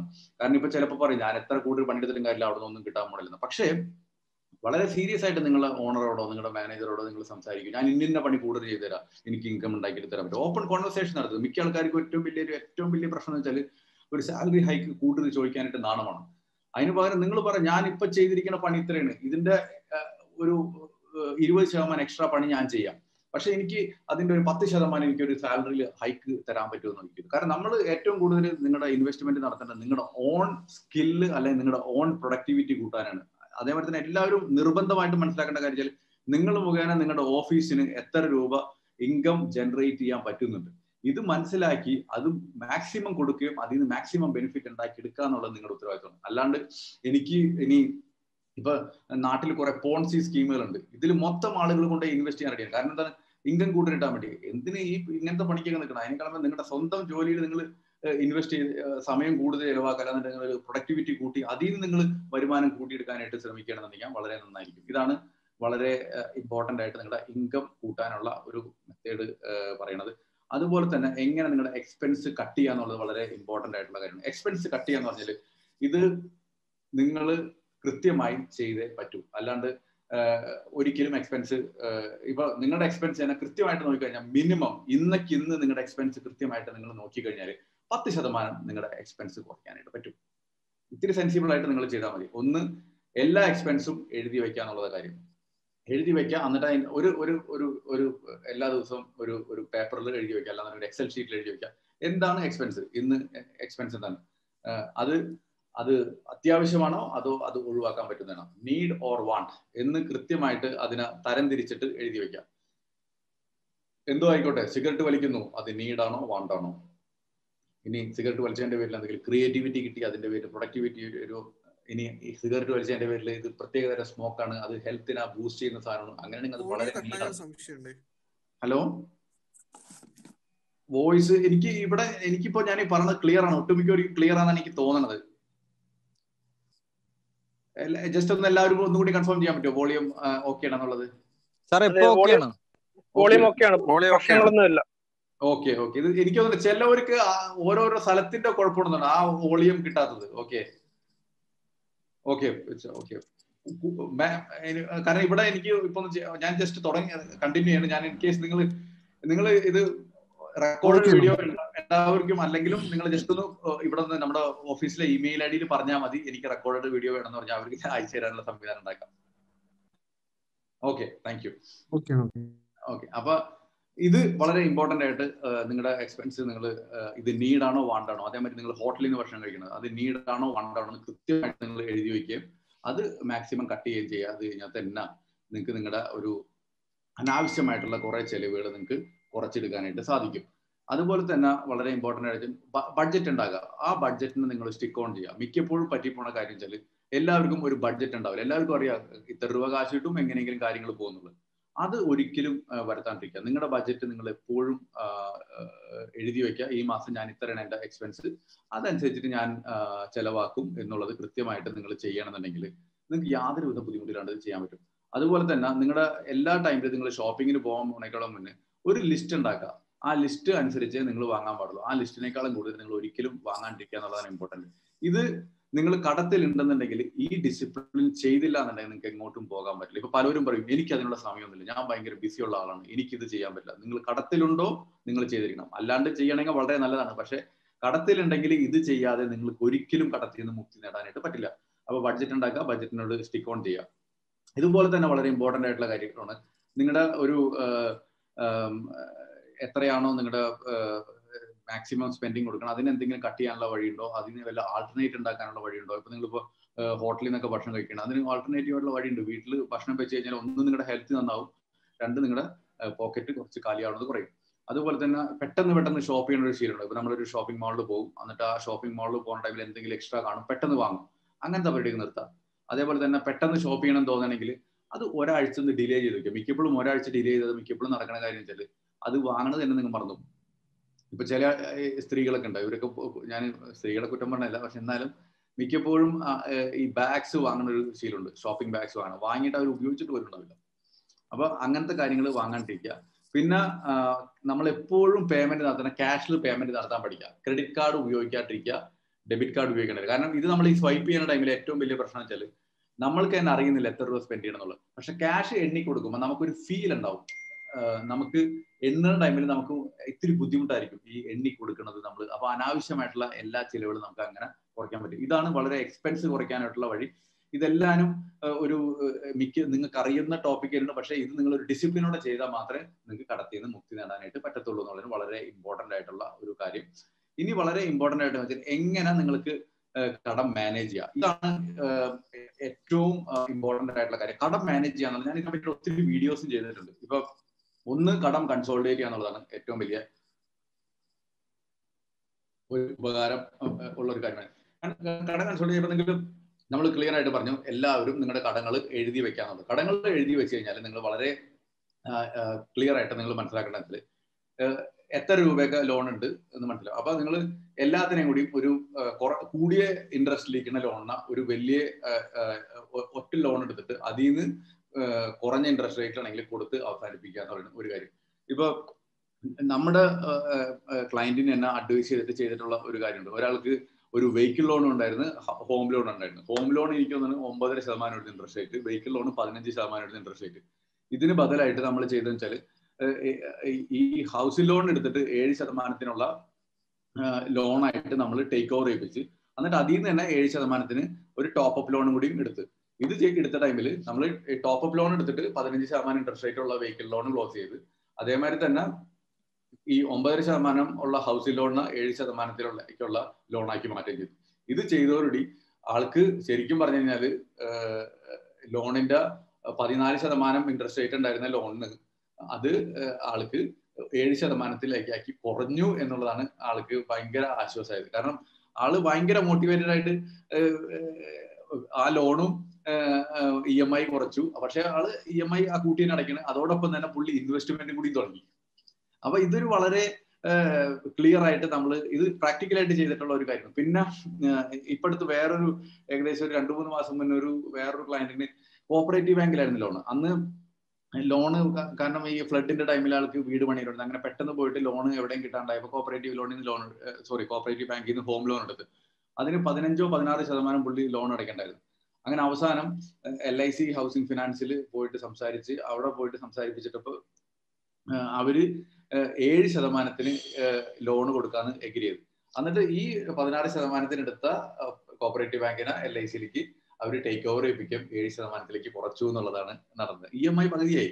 അപ്പോൾ അങ്ങനെ വന്നപ്പോൾ അവരുടെ ലോൺ കംപ്ലീറ്റ് ആയിട്ട് അവർക്ക് ട്രാൻസ്ഫോം ചെയ്യാനും ഇപ്പൊ അവർ വളരെ കോൺഫിഡന്റ് ആയിട്ടാണ് അവർ ഇ എം ഐ അടച്ചിട്ടുണ്ട്. കാരണം അവർക്ക് അറിയാം ഇങ്ങനെ പോയി കഴിഞ്ഞാൽ പെട്ടെന്ന് ലോണ് ക്ലോസ് ആവുന്നത് അങ്ങനെ ഒത്തിരി കാര്യങ്ങൾ ചെയ്യാവുന്ന ഇതാണ്. അല്ലാന്നുണ്ടെങ്കിൽ ഇപ്പൊ ചില ആൾക്കാർക്കൊക്കെ ഈ ഈ ക്രെഡിറ്റ് കാർഡിന്റെ ഒക്കെ ലോൺ ഉണ്ടാവും. അല്ലാന്നുണ്ടെങ്കിൽ ഈ എൻ ബി എഫ് സി എന്നൊക്കെ ഗോൾഡ് വെച്ചിട്ട് പന്ത്രണ്ട് ശതമാനത്തിനൊക്കെ ലോൺ എടുത്തിട്ടുണ്ടാവും. ഇതിനൊക്കെ നമുക്ക് ചെയ്യാവുന്ന കാര്യം വെച്ചാൽ വേറെ ഏതെങ്കിലും കുറഞ്ഞ ലോണിലേക്ക് നാഷണലൈസ്ഡ് ബാങ്കിൽ നിന്ന് ലോൺ എടുക്കുക അതിൽ നിന്ന് ട്രാൻസ്ഫർ ചെയ്യാന്നുള്ളതാണ് വേറെ ഒരു കാര്യം പറഞ്ഞത് പിന്നെ ഞാൻ ഇപ്പൊ അടുത്ത് വേറൊരു വീഡിയോ ഞാൻ ചെയ്യാൻ ഉദ്ദേശിച്ചിട്ടുണ്ട്. ഇപ്പൊ ഗോൾഡ് ഇരിക്കുന്ന ആൾക്കാർക്ക് എസ്പെഷ്യലി ബിസിനസ്സുകാർക്ക് വീട്ടിൽ ഗോൾഡ് ഉണ്ടാവും. അപ്പൊ പെട്ടെന്ന് അവർക്ക് ലോൺ എടുക്കണം എന്ന് പറയുമ്പോൾ ഇവർ ഗോൾഡ് കൊണ്ടുപോയിട്ട് ഏതെങ്കിലും കോപ്പറേറ്റീവ് ബാങ്കിലോ എല്ലായിടത്തും പോയിട്ട് ലോൺ എടുക്കും. അതിന് ചിലപ്പോൾ പന്ത്രണ്ട് ശതമാനം പതിനാല് ശതമാനം ഒക്കെ ഇൻട്രസ്റ്റ് ആയിരിക്കും കൊടുക്കുന്നത്. അതിന് പകരം എസ് ബി ഐയിൽ ഒരു ഓപ്ഷൻ ഉണ്ട്. അവിടെ നമ്മൾ ഗോൾഡ് കൊണ്ടുപോയിക്കണമെങ്കിൽ അതിൽ നിന്ന് ഓഡി ഫെസിലിറ്റി ആക്ടിവേറ്റ് ആക്കാൻ പറ്റും. അതിന് ഏഴ് ശതമാനം ഇൻട്രസ്റ്റ് റേറ്റ് ഉള്ളൂ. അങ്ങനെയാണെങ്കിൽ എപ്പോഴും ലോൺ അവിടെ പാസ്സായിരിക്കുന്നുണ്ടാവും എപ്പോഴാണോ ലോൺ എടുക്കുന്നത് അപ്പോൾ മാത്രം അതിന് പലിശ കൊടുത്താൽ മതി. അതോടൊപ്പം തന്നെ നമുക്ക് എക്സസ് ആയിട്ട് ഇൻട്രസ്റ്റ് റേറ്റ് കൊടുക്കാണ്ടിരിക്കുകയും ചെയ്യാം. ഇതാണ് ഒരു ഓപ്ഷൻ ഡെറ്റിനെ എങ്ങനെ കൺസോൾഡ് ചെയ്യുക എന്നുള്ളത്. ഇത് പറഞ്ഞു പറയാനായിട്ട് വളരെ ഈസിയാണ് പക്ഷേ നിങ്ങളുടെ മൊത്തം ലോണിനെ നമുക്ക് സെഗ്രിഗേറ്റ് ചെയ്താൽ മാത്രമേ ഇത് ചെയ്തെടുക്കാനായിട്ട് സാധിക്കുള്ളൂ ഇതേപോലെ തന്നെ നമുക്ക് ഡെറ്റ് മാനേജ് ചെയ്യാം. അപ്പൊ ഒന്ന് ഡെറ്റ് മാനേജ് ചെയ്യുമ്പോൾ നിങ്ങൾക്ക് ഏതെങ്കിലും ഡെറ്റ് ഔട്ട്സ്റ്റാൻഡിംഗ് ഉണ്ട് ഡെറ്റ് ഡീഫോൾട്ട് ആയിട്ട് നിങ്ങൾ ബാഡ് ഡെറ്റിന്റെ ഇതിൽ നിൽക്കണമെന്നുണ്ടെങ്കിൽ ഒന്ന് അവരായിട്ട് വിളിച്ചിട്ട് നെഗോഷിയേറ്റ് ചെയ്യുക. നെഗോഷിയേറ്റ് ചെയ്തിട്ട് ഇവൻ എസ്പെഷ്യലി നിങ്ങളുടെ ഫ്രണ്ട്സിന്റെ സർക്കിളിൽ നിങ്ങൾക്ക് എടുത്തിട്ടുണ്ടെങ്കിൽ അവരായിട്ടും നെഗോഷിയേറ്റ് ചെയ്യാം ഇൻട്രസ്റ്റ് റേറ്റ് കൂടുകയാണെന്നുണ്ടെങ്കിൽ അതുപോലെ തന്നെ ബാങ്കിലൊക്കെ ആണെന്നുണ്ടെങ്കിൽ വൺ ടൈം സെറ്റിൽമെന്റ് നിങ്ങൾക്ക് ഓപ്റ്റ് ചെയ്യാൻ പറ്റും. അതേപോലെ തന്നെ ഇ എം ഐ അഡ്ജസ്റ്റ് ചെയ്യാനുള്ള ഓപ്ഷൻസ് ഉണ്ട്. ഇപ്പോൾ ചില സ്ഥലത്തൊക്കെ നിങ്ങൾക്ക് ഇ എം ഐ അടയ്ക്കാൻ ബുദ്ധിമുട്ടുണ്ടെങ്കിൽ പത്ത് വർഷത്തേക്കുള്ള ലോൺ ആണെന്നുണ്ടെങ്കിൽ അതിന് ഒരു മുപ്പത് വർഷത്തേക്കുള്ള ലോൺ ആയിട്ട് കൺവേർട്ട് ചെയ്യാം. അപ്പൊ ഇ എം ഐ കുറയും. എന്ന് പറഞ്ഞിട്ട് ഇ എം ഐ കുറയുമ്പോൾ ശരിക്കും പറഞ്ഞാൽ ഇൻട്രസ്റ്റ് ബേർഡൻ കൂടെയാണ്. പക്ഷെ നിങ്ങളുടെ ഈ ഇപ്പോഴത്തെ സാമ്പത്തിക ഞെരുക്കം കഴിഞ്ഞു കഴിഞ്ഞാൽ എക്സസ് ആയിട്ട് പൈസ അടക്കി നിങ്ങളുടെ ഈ പറഞ്ഞ പത്ത് വർഷത്തിനുള്ളിൽ തന്നെ ലോൺ ക്ലോസ് ചെയ്യണമെന്നുണ്ടെങ്കിൽ നിങ്ങളുടെ ഇൻട്രസ്റ്റ് കോമ്പണന്റ് കൂടെയില്ല. എന്നാൽ നിങ്ങൾക്ക് ഒരു ഇമ്മീഡിയറ്റ് ആയിട്ട് ഒരു ആശ്വാസം കിട്ടുകയും ചെയ്യും. ഇത് പല ടെക്നിക്ക് നോക്കാം. ഓരോരുത്തരുടെയും ഡെറ്റിന്റെ നേച്ചർ അനുസരിച്ചിട്ട് തന്നെ ഇതിന് ചെയ്യാൻ പറ്റുള്ളൂ. കാരണം ഓരോരുത്തർക്കും ഓരോരോ റിക്വയർമെന്റ് ആണ് ഉണ്ടാവുന്നത്. ഇത് രണ്ടാണ് നമ്മൾ എങ്ങനെ ഡെറ്റ് മാനേജ് കടം മാനേജ് ചെയ്യാന്നുള്ള ഒരു ഓപ്ഷൻ പറഞ്ഞ ഇത് വളരെ സിമ്പിൾ ആയിട്ട് തോന്നുമെങ്കിലും ഓരോരുത്തരുടെയും കടത്തിന്റെ നേച്ചറും കടത്തിന്റെ അളവും അനുസരിച്ചിട്ട് എല്ലാത്തിന്റെ ടെക്നിക്ക് മാറിക്കൊണ്ടിരിക്കും എന്നുള്ളതാണ് നമ്മൾ മനസ്സിലാക്കേണ്ട കാര്യം. ഓക്കെ ഇനി വളരെ ഇമ്പോർട്ടന്റ് ആയിട്ടുള്ള കാര്യം. ഇതാണ് ശരിക്കും പറഞ്ഞാൽ ഇപ്പൊ ഇപ്പൊ ഇന്റർനാഷണലി എല്ലാവരും ആക്സെപ്റ്റ് ചെയ്തിട്ടിരിക്കുന്ന ഒരു ഒരു മെത്തേഡ് എന്ന് വെച്ചാൽ ലോണിന് എങ്ങനെ ഒരു മാറ്റിയെടുക്കാന്ന് പറഞ്ഞാൽ സ്നോബോൾ മെത്തേഡ് എന്ന് പറയുന്നത് വളരെ സിമ്പിൾ ആയിട്ട് പറഞ്ഞാൽ ഇപ്പൊ മഞ്ഞ് ഉണ്ടല്ലോ. മഞ്ഞ് ഇത്തിരി ഇങ്ങനെ ഇങ്ങനെ ഇങ്ങനെ വന്നുകൊണ്ടിരിക്കുകയാണ് മഞ്ഞ് ഇങ്ങനെ ഉരുണ്ട് ഉരുണ്ട് വലിയ ഒരു ഗോളായിട്ട് ഇങ്ങനെ ക്ലോസ് ചെയ്യണ ഒരു പരിപാടി ഉണ്ട്. അതാണ് ഇപ്പൊ ഇതിൽ പറഞ്ഞത്. അപ്പൊ ഒന്ന് നിങ്ങളുടെ രണ്ട് വിധത്തിൽ ഇതിനെ കണക്കാക്കാം. ഒന്ന് നിങ്ങളുടെ എല്ലാ ലോണും നിരത്തി എഴുതി വെക്കാം. ഇപ്പൊ ക്രെഡിറ്റ് കാർഡ് ലോൺ ഉണ്ട് ഹോം ലോൺ ഉണ്ട് കാറിന്റെ ലോൺ ഉണ്ട് പേഴ്സണൽ ലോൺ ഉണ്ട്. ഇതിനെല്ലാത്തിനും നിരത്തി എഴുതി വെക്കാം. എത്ര രൂപ ഔട്ട്സ്റ്റാൻഡിങ് ഉണ്ടെന്ന് എഴുതി വെക്കാം. ഇനി എത്ര രൂപ ഇൻട്രസ്റ്റ് റേറ്റ് ഉണ്ടെന്ന് വെക്കാം എന്നിട്ട് അതിൽ നോക്കണ്ട എങ്ങനെ വെച്ചാൽ എത്ര രൂപയാണ് ഔട്ട്സ്റ്റാൻഡിങ് കുറവായിട്ട് നിൽക്കുന്നത്? അതിനെ ആദ്യം ക്ലോസ് ചെയ്യാം. അപ്പൊ നിങ്ങൾ എല്ലാ ലോണിനെയും എഴുതി വെച്ചിട്ട് ഇപ്പൊ ഒരു അഞ്ച് ലോൺ ഉണ്ടെന്ന് വെക്കാം അതിൽ ഏറ്റവും കുറഞ്ഞ രൂപ ലോൺ എവിടെയാണുള്ളത്? അതിനെ പെട്ടെന്ന് പെട്ടെന്ന് ക്ലോസ് ചെയ്യാം. അങ്ങനെ എത്ര രൂപ അവിടെ നിന്ന് അടച്ചു കഴിഞ്ഞു ആ പൈസയുടെ ഇനി അടുത്ത മാസത്തോട്ടുള്ള ഇ എം ഐ അതും കൂടി കൂട്ടി അടുത്ത ലോണിലേക്ക് അടയ്ക്കാം. അതും കൂടി കൂട്ടി അടുത്ത ലോണിലേക്ക് അടയ്ക്കാം. അപ്പൊ അങ്ങനെ അങ്ങനെ വരുമ്പോൾ നമ്മുടെ ലോണ് പെട്ടെന്ന് പെട്ടെന്ന് ക്ലോസ് ആവില്ല. ഇതൊന്നും എന്താ പറയാ ഒരു ആറ് മാസം കൊണ്ടോ ഒരു കൊല്ലം കൊണ്ടോ നടക്കാൻ പോണ കാര്യമില്ല ഇതൊന്നും നിങ്ങളുടെ ലോണിനെ സെഗ്രിഗേറ്റ് ചെയ്തിട്ട് ഇത്തരം മെത്തേഡിൽ നിങ്ങൾ ചെയ്ത് കഴിഞ്ഞാൽ നമ്പർ ഓഫ് ലോൺസ് കുറഞ്ഞുകൊണ്ടിരിക്കും. ഇപ്പൊ നിങ്ങൾക്ക് ആദ്യം നിങ്ങൾ ഇപ്പൊ തുടങ്ങുന്ന ടൈമിൽ ഏഴ് ലോൺ ഉണ്ടെന്ന് വിചാരിക്കാം. ഈ ഏഴ് ലോണിൽ ഇപ്പൊ ഒരു രണ്ട് ലോൺ ഒരു ഒരു പതിനായിരം രൂപ താഴെയുള്ളൂ. ആ ലോൺ രണ്ടും കൂടി ക്ലോസ് ചെയ്യാം. അല്ലെങ്കിൽ അമ്പതിനായിരം രൂപ ഉള്ളൂ ആ രണ്ട് രണ്ടും ക്ലോസ് ചെയ്യാം. എന്നിട്ട് അതിന് അടച്ചിരുന്ന കാശും കൂടി കൂട്ടി ബാക്കിയുള്ള ലോണുകൾ അടയ്ക്കാൻ തുടങ്ങും. എന്നിട്ട് ഇങ്ങനെ ഇങ്ങനെ ചെയ്യുമ്പോൾ ഒന്നാമത്തെ കാര്യം നിങ്ങൾക്ക് ഭയങ്കര കോൺഫിഡന്റ് ആണോ കാരണം വെച്ചാൽ പണ്ട് ഏഴ് ലോൺ ഉണ്ടായത് ഇപ്പോൾ അഞ്ച് ലോൺ ഉള്ളൂ. അപ്പൊ ഏഴിൽ നിന്ന് അഞ്ചിലേക്ക് കുറയുമ്പോൾ തന്നെ നിങ്ങളുടെ കോൺഫിഡൻസ് കൂടുകയും അതിൽ നിന്ന് നിങ്ങൾക്ക് ലോണുകൾ പെട്ടെന്ന് അടച്ചു തീർക്കാൻ പറ്റും. ഇത് ഇത് ശരിക്കും നിങ്ങൾ ലൈഫിൽ ഇംപ്ലിമെന്റ് ചെയ്യണമെങ്കിൽ നിങ്ങളുടെ ലോൺ ഇതിനേക്കാളും കൂടുതൽ ഓർഗനൈസ്ഡ് ആവുകയും ചെയ്യും വളരെ പെട്ടെന്ന് ചെയ്തെടുക്കാൻ പറ്റും. ഇത് ആണ് ശരിക്കും പറഞ്ഞാൽ ഇമോഷണലി എങ്ങനെ ലോൺ ക്ലോസ് ചെയ്യാന്നാണ് കുറച്ചും കൂടി സെൻസിബിൾ ആയിട്ട് ലോൺ ക്ലോസ് ചെയ്യാന്നുണ്ടെങ്കിൽ ഒന്ന് നിങ്ങൾ എല്ലാ ലോണുകളും സെഗ്രിഗേറ്റ് എഴുതി എഴുതി വെക്കുക അത് കഴിഞ്ഞിട്ട് നിങ്ങൾ നോക്കേണ്ട കാര്യം വെച്ചാൽ അത് അത് കഴിഞ്ഞ് കഴിഞ്ഞാൽ നിങ്ങൾ ചെയ്യേണ്ട വളരെ കൃത്യമായിട്ട് ചെയ്യേണ്ട കാര്യം എന്ന് വെച്ചാൽ ഏറ്റവും കൂടുതൽ ലോൺ ഉള്ളത് ഇപ്പൊ ഏറ്റവും കൂടുതൽ ഇൻട്രസ്റ്റ് റേറ്റ് ഉള്ള ലോൺ ഏറ്റവും കൂടുതൽ ഇൻട്രസ്റ്റ് റേറ്റ് ലോൺ ആദ്യം ക്ലോസ് ചെയ്യാം. ഇപ്പൊ നിങ്ങൾക്ക് ഇപ്പൊ എസ്പെഷ്യലി ഹോം ലോൺ പോലുള്ള ഏഴ് ശതമാനത്തിൽ ഇരിക്കുന്ന ലോൺ ഇപ്പൊ ആദ്യം തന്നെ നോക്കാം ഹോം ലോൺ എത്ര ശതമാനത്തിലേക്കാണ് ഇപ്പൊ ഒമ്പത് ശതമാനത്തിലേക്കാണെന്നുണ്ടെങ്കിൽ ആദ്യം തന്നെ ആ ലോണിനെ പിടിച്ചിട്ട് ഏഴ് ശതമാനത്തിലേക്ക് ആക്കാം. നിങ്ങളുടെ എക്സിസ്റ്റിംഗ് ബാങ്കിൽ ചെന്ന് പറഞ്ഞാൽ മതി അവർ ചെയ്തു തരും. ഇനി അതല്ലെങ്കിൽ ഏതെങ്കിലും നാഷണലൈസ്ഡ് ബാങ്കിലേക്ക് ടേക്ക് ഓവറിന് ഓപ്ഷൻ കൊടുക്കാം. അത് കഴിഞ്ഞ് കഴിഞ്ഞാൽ ഏറ്റവും ചെറിയ ലോണിലിരിക്കുന്ന ഏറ്റവും ചെറിയ ഏറ്റവും സോറി ഏറ്റവും ഇൻട്രസ്റ്റ് റേറ്റ് കൂടിയിരിക്കുന്ന ലോൺ ഇപ്പൊ ക്രെഡിറ്റ് കാർഡ് പോലത്തെ ഇരുപത്തിനാല് ശതമാനം ആയിരിക്കും ഇൻട്രസ്റ്റ് കൊടുക്കുന്നത് അല്ലെങ്കിൽ മുപ്പത്തി ആറ് ശതമാനം ആയിരിക്കും ഇൻട്രസ്റ്റ് കൊടുക്കുന്നത് അത്തരം ലോണുകൾ ഏറ്റവും പെട്ടെന്ന് ക്ലോസ് ചെയ്യാനുള്ള സംവിധാനം ഉണ്ടാക്കുക. അപ്പൊ നിങ്ങൾ കൊടുക്കുന്ന പണം കുറച്ചുകൂടി കുറവ് കൊടുക്കേണ്ട അവസ്ഥയുള്ളൂ. അപ്പൊ ഏതാണോ ഏറ്റവും കൂടുതൽ ഇൻട്രസ്റ്റ് റേറ്റ് ഇരിക്കുന്ന ലോൺ അതിനെ ആദ്യം ക്ലോസ് ചെയ്യുക. എന്നിട്ട് അടുത്തതിലേക്ക് വരാം. അപ്പൊ അങ്ങനെ വരുമ്പോൾ നിങ്ങൾ കൊടുക്കുന്ന ഔട്ട്ഫ്ലോ വളരെയധികം കുറയാനുള്ള ഒരു ചാൻസ് ഉണ്ട്. അതേപോലെ തന്നെ ഏറ്റവും കൂടുതൽ ഇൻട്രസ്റ്റ് ഉള്ള അല്ലെങ്കിൽ ഏറ്റവും ചെറുതായിട്ടിരിക്കുന്ന ലോണുകൾ നമ്മൾ ആ ബാങ്കുകളിൽ പോയിട്ട് സംസാരിക്കുക നെഗോഷിയേറ്റ് ചെയ്യുക. എന്നിട്ട് അത് ഏറ്റവും കുറഞ്ഞ രീതിയിൽ സെറ്റിൽ ചെയ്യാനുള്ള ഒരു അവസരം ഉണ്ടാക്കിയെടുക്കുക എന്നുള്ളതാണ് ഒരു കാര്യം ചെയ്യാവുന്നത് അപ്പൊ നമ്മൾ ഇത്രയും നേരം പറഞ്ഞാൽ ഏറ്റവും എഫിഷ്യന്റ് ആയിട്ട് നമ്മൾ നോക്കേണ്ടത് വെച്ചാൽ ലോണുകൾ എത്ര ഉണ്ടെന്ന് ഔട്ട്സ്റ്റാൻഡിങ് എത്ര ഉണ്ടെന്ന് ചോദിക്കുക. എത്ര രൂപ നിങ്ങൾക്ക് ഇൻട്രസ്റ്റ് റേറ്റ് ഉണ്ടെന്ന് നോക്കുക. ഒന്നില്ലാന്നുണ്ടെങ്കിൽ ഏറ്റവും ആദ്യം ചെയ്യേണ്ടതിൽ ഏറ്റവും കുറഞ്ഞ ലോണുകൾ ആദ്യം ചെയ്യുക. അപ്പൊ നമുക്ക് ലോണുകളുടെ എണ്ണം കുറഞ്ഞു എന്നുള്ളൊരു കോൺഫിഡൻസ് കൂടെയും ആ മോട്ടിവേഷനിൽ നിങ്ങൾക്ക് ഓരോ ലോണുകളും കുറയ്ക്കാൻ പറ്റും. ഇനി അതല്ലാന്നുണ്ടെങ്കിൽ അടുത്ത കാര്യം വെച്ചാൽ ഏറ്റവും കൂടുതൽ ഇൻട്രസ്റ്റ് റേറ്റിൽ നിൽക്കുന്ന ഏതാണ്? അത് ആദ്യം ക്ലോസ് ചെയ്യുക. എന്നിട്ട് ചെറിയ ഇൻട്രസ്റ്റ് റേറ്റ് ഉള്ളതിലേക്ക് കടന്നു കഴിഞ്ഞാൽ വളരെ സ്മൂത്ത് ആയിട്ട് നമുക്ക് ലോണുകൾ കുറച്ച് ചെയ്യാൻ പറ്റും. എപ്പോഴും നോക്കേണ്ട ഒരു കാര്യം വെച്ചാൽ ഇ എം ഐ എത്രയാണോ? അത് കൃത്യമായിട്ട് അടച്ചുകൊണ്ടിരിക്കുക. കാരണം ഒരു ഇ എം ഐ മിസ്സായി കഴിഞ്ഞാൽ അതിന്റെ പലിശ അക്യൂമുലേറ്റ് ആയിക്കൊണ്ടിരിക്കുകയും ചെയ്യും. പിന്നെ ലോണിന്റെ ബേർഡൻ ഭയങ്കരമായിട്ട് കൂടുന്ന ഒരു അവസ്ഥ ഉണ്ടാവും ഇതാണ് ശരിക്കും പറഞ്ഞാൽ എങ്ങനെ നമുക്ക് ഡെറ്റ് ഫ്രീ ആവാം എന്ന് നമുക്ക് സംസാരിക്കുന്നത്. ഇനി ഇതേപോലെ തന്നെ നമ്മളിപ്പോ ഇത്രയും നേരം നമ്മൾ സംസാരിച്ചതിൽ വളരെ സമ്മറി ആയിട്ട് നമ്മൾ പറയണമെന്നുണ്ടെങ്കിൽ how to be debt free എന്ന് പറഞ്ഞാൽ ആദ്യം തന്നെ നമുക്ക് കൃത്യമായിട്ട് നമുക്ക് അറിയേണ്ട കാര്യം എന്ന് വെച്ചാൽ എങ്ങനെ നമ്മൾ നമ്മളിപ്പോ ഡെറ്റിലാണോ ഇല്ലേ എന്നുള്ളത് നമ്മൾ കൃത്യമായിട്ട് മനസ്സിലാക്കുക.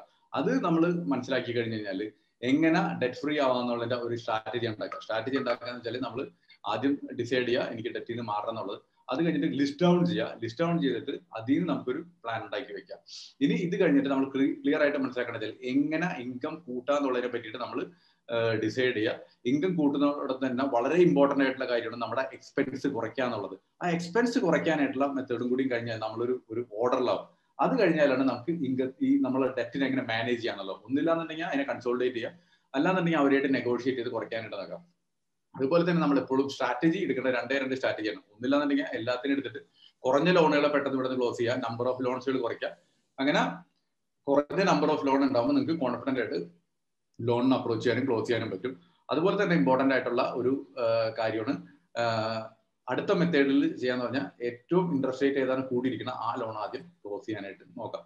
ഇതാണ് ശരിക്കും പറഞ്ഞാൽ how to be debt free എന്നുള്ളതിനെ പറ്റി വളരെ സമ്മറി ആയിട്ട് പറയാവുന്നുള്ളൂ ഇതിലിപ്പം നമ്മളൊക്കെ ശരിക്കും പറഞ്ഞാൽ ഇപ്പൊ മണി ടോക്സ് ലിങ്കിൽ നമ്മളിപ്പോ എങ്ങനെ ഹെൽപ്പ് ചെയ്യാന്ന് പറഞ്ഞാൽ ഇൻ കേസ് നിങ്ങൾക്ക് ഈ സംസാരിച്ചത് മാത്രം പോരാ എനിക്ക് ഫർദർ വേണമെന്നുണ്ടെങ്കിൽ നിങ്ങൾക്ക് നമ്മളടുത്ത് അപ്പോയിന്റ്മെന്റ് എടുക്കാം. അപ്പോയിന്റ്മെന്റ് എടുക്കാനായിട്ട് ടോക്സ് വിത്ത് മണി ഡോട്ട് കോമിൽ വന്നിട്ട് അപ്പോയിന്റ്മെന്റ് എടുത്താൽ മതി. അതിന് വരുമ്പോൾ നിങ്ങൾക്ക് ഒരു മെയിൽ വരും. ആ മെയിലിൽ നിങ്ങൾക്ക് ഒരു ഡാറ്റ ഷീറ്റ് ഉണ്ടാവും ആ ഡാറ്റ ഷീറ്റ് ഫില്ല് ചെയ്തിട്ട് നമുക്ക് ടീമിന് അയക്കാം. അതേപോലെ തന്നെ അതിൽ ചെയ്യാനായിട്ട് ഒരു ഒരു ഒരു ചെറിയൊരു ഫീസും ഉണ്ട്.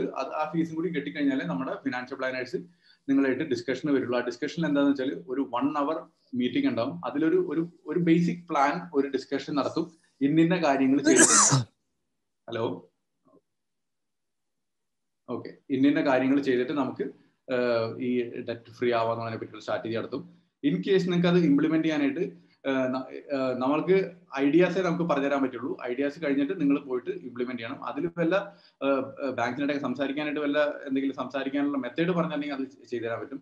ഇൻ കേസ് എന്തെങ്കിലും ഫർദർ ഇൻവെസ്റ്റ്മെന്റ് ചെയ്യണമെന്നുണ്ടെങ്കിൽ അതിൽ നമ്മളായിട്ട് ഇൻവെസ്റ്റ് ചെയ്യാൻ നിങ്ങൾക്ക് പുറത്ത് ഇൻവെസ്റ്റ് ചെയ്യാം. നമ്മളായിട്ട് ഇൻവെസ്റ്റ് ചെയ്ത് കഴിഞ്ഞാൽ നമ്മുടെ ഒരു ഒരു സിസ്റ്റം ഉണ്ടാവും. അതിൽ നമുക്ക് എല്ലാ ഇൻവെസ്റ്റ്മെന്റിനെ ട്രാക്ക് ചെയ്യാനുള്ള ഒരു അവസരം ഉണ്ടാവും. അപ്പൊ ഓരോരോ ഇൻവെസ്റ്റ്മെന്റും ഏതൊക്കെ ആവശ്യത്തിനാണ് ഇൻവെസ്റ്റ് ചെയ്തെന്നുള്ളത് നമുക്ക് കൃത്യമായിട്ട് മനസ്സിലാക്കാനും അത് ട്രാക്ക് ചെയ്യാനും അറ്റ്ലീസ്റ്റ് ഒരു ആറ് മാസം കൂടുമ്പോൾ അതിനെപ്പറ്റി ഒരു റിവ്യൂ ഡിസ്കഷൻ കൂടി നിങ്ങൾക്ക് ഉണ്ടായിരിക്കും.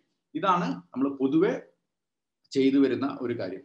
അപ്പൊ എന്തെങ്കിലും ഫർദർ ക്വസ്റ്റ്യൻസ് ഉണ്ടെങ്കിൽ ഞാൻ എന്റെ ഈ ഒന്നില്ലെങ്കിൽ നമ്മുടെ നമ്പർ ഉണ്ട്. ഈ നമ്മുടെ ഈ ഗ്രൂപ്പിൽ തന്നെ കാണുന്ന നമ്മുടെ വീഡിയോടൊപ്പം തന്നെ കാണുന്ന ഒരു നമ്പർ ഉണ്ട്. അതിൽ വിളിക്കുക. അല്ലാന്നുണ്ടെങ്കിൽ ഈ വെബ്സൈറ്റിൽ വന്നിട്ട് അപ്പോയിൻമെന്റ് എടുക്കാം. ഇനി അതല്ലെങ്കിൽ ഇപ്പോ നിങ്ങൾക്ക് എന്തെങ്കിലും ക്യുക്കായിട്ട് ഇമെയിൽ ഉണ്ട്. എനിക്ക് എന്തെങ്കിലും ചോദിക്കണം. അപ്പോ വാട്സപ്പിൽ എഴുതി അയച്ചു കഴിഞ്ഞാൽ ചില ടൈമിൽ നമുക്കത്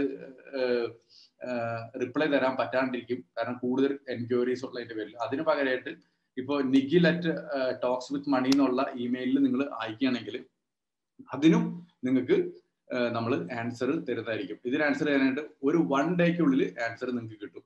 ഇപ്പൊ ചില ആൻസറുകൾ നിങ്ങൾക്ക് ഒറ്റയടിക്ക് നിങ്ങൾക്ക് പറഞ്ഞു തരാൻ പറ്റില്ല. അങ്ങനെയാണെന്നുണ്ടെങ്കിൽ ചിലപ്പോൾ ഒരു ഫർദർ ഡിസ്കഷൻ വേണമെന്ന് പറയുണ്ടാവും കാരണം ചില കാര്യങ്ങൾ നമുക്ക് ഒറ്റയടിക്ക് ആൻസർ തരാൻ പറ്റാത്ത കാര്യങ്ങളുണ്ടാവും.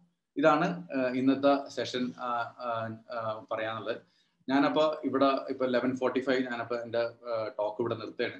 ഇനി ഞാൻ ക്വസ്റ്റ്യൻ ആൻസർ സെഷനിലേക്ക് കിടക്കണം ഞാൻ ഇത്രയും നേരം സംസാരിച്ചതിൽ നിങ്ങൾക്ക് എന്തെങ്കിലും ക്വസ്റ്റ്യൻസ് ഉണ്ടെങ്കിൽ നമുക്ക് അടുത്ത ഫിഫ്റ്റീൻ മിനിറ്റ്സിൽ ഡിസ്കസ് ചെയ്യാം.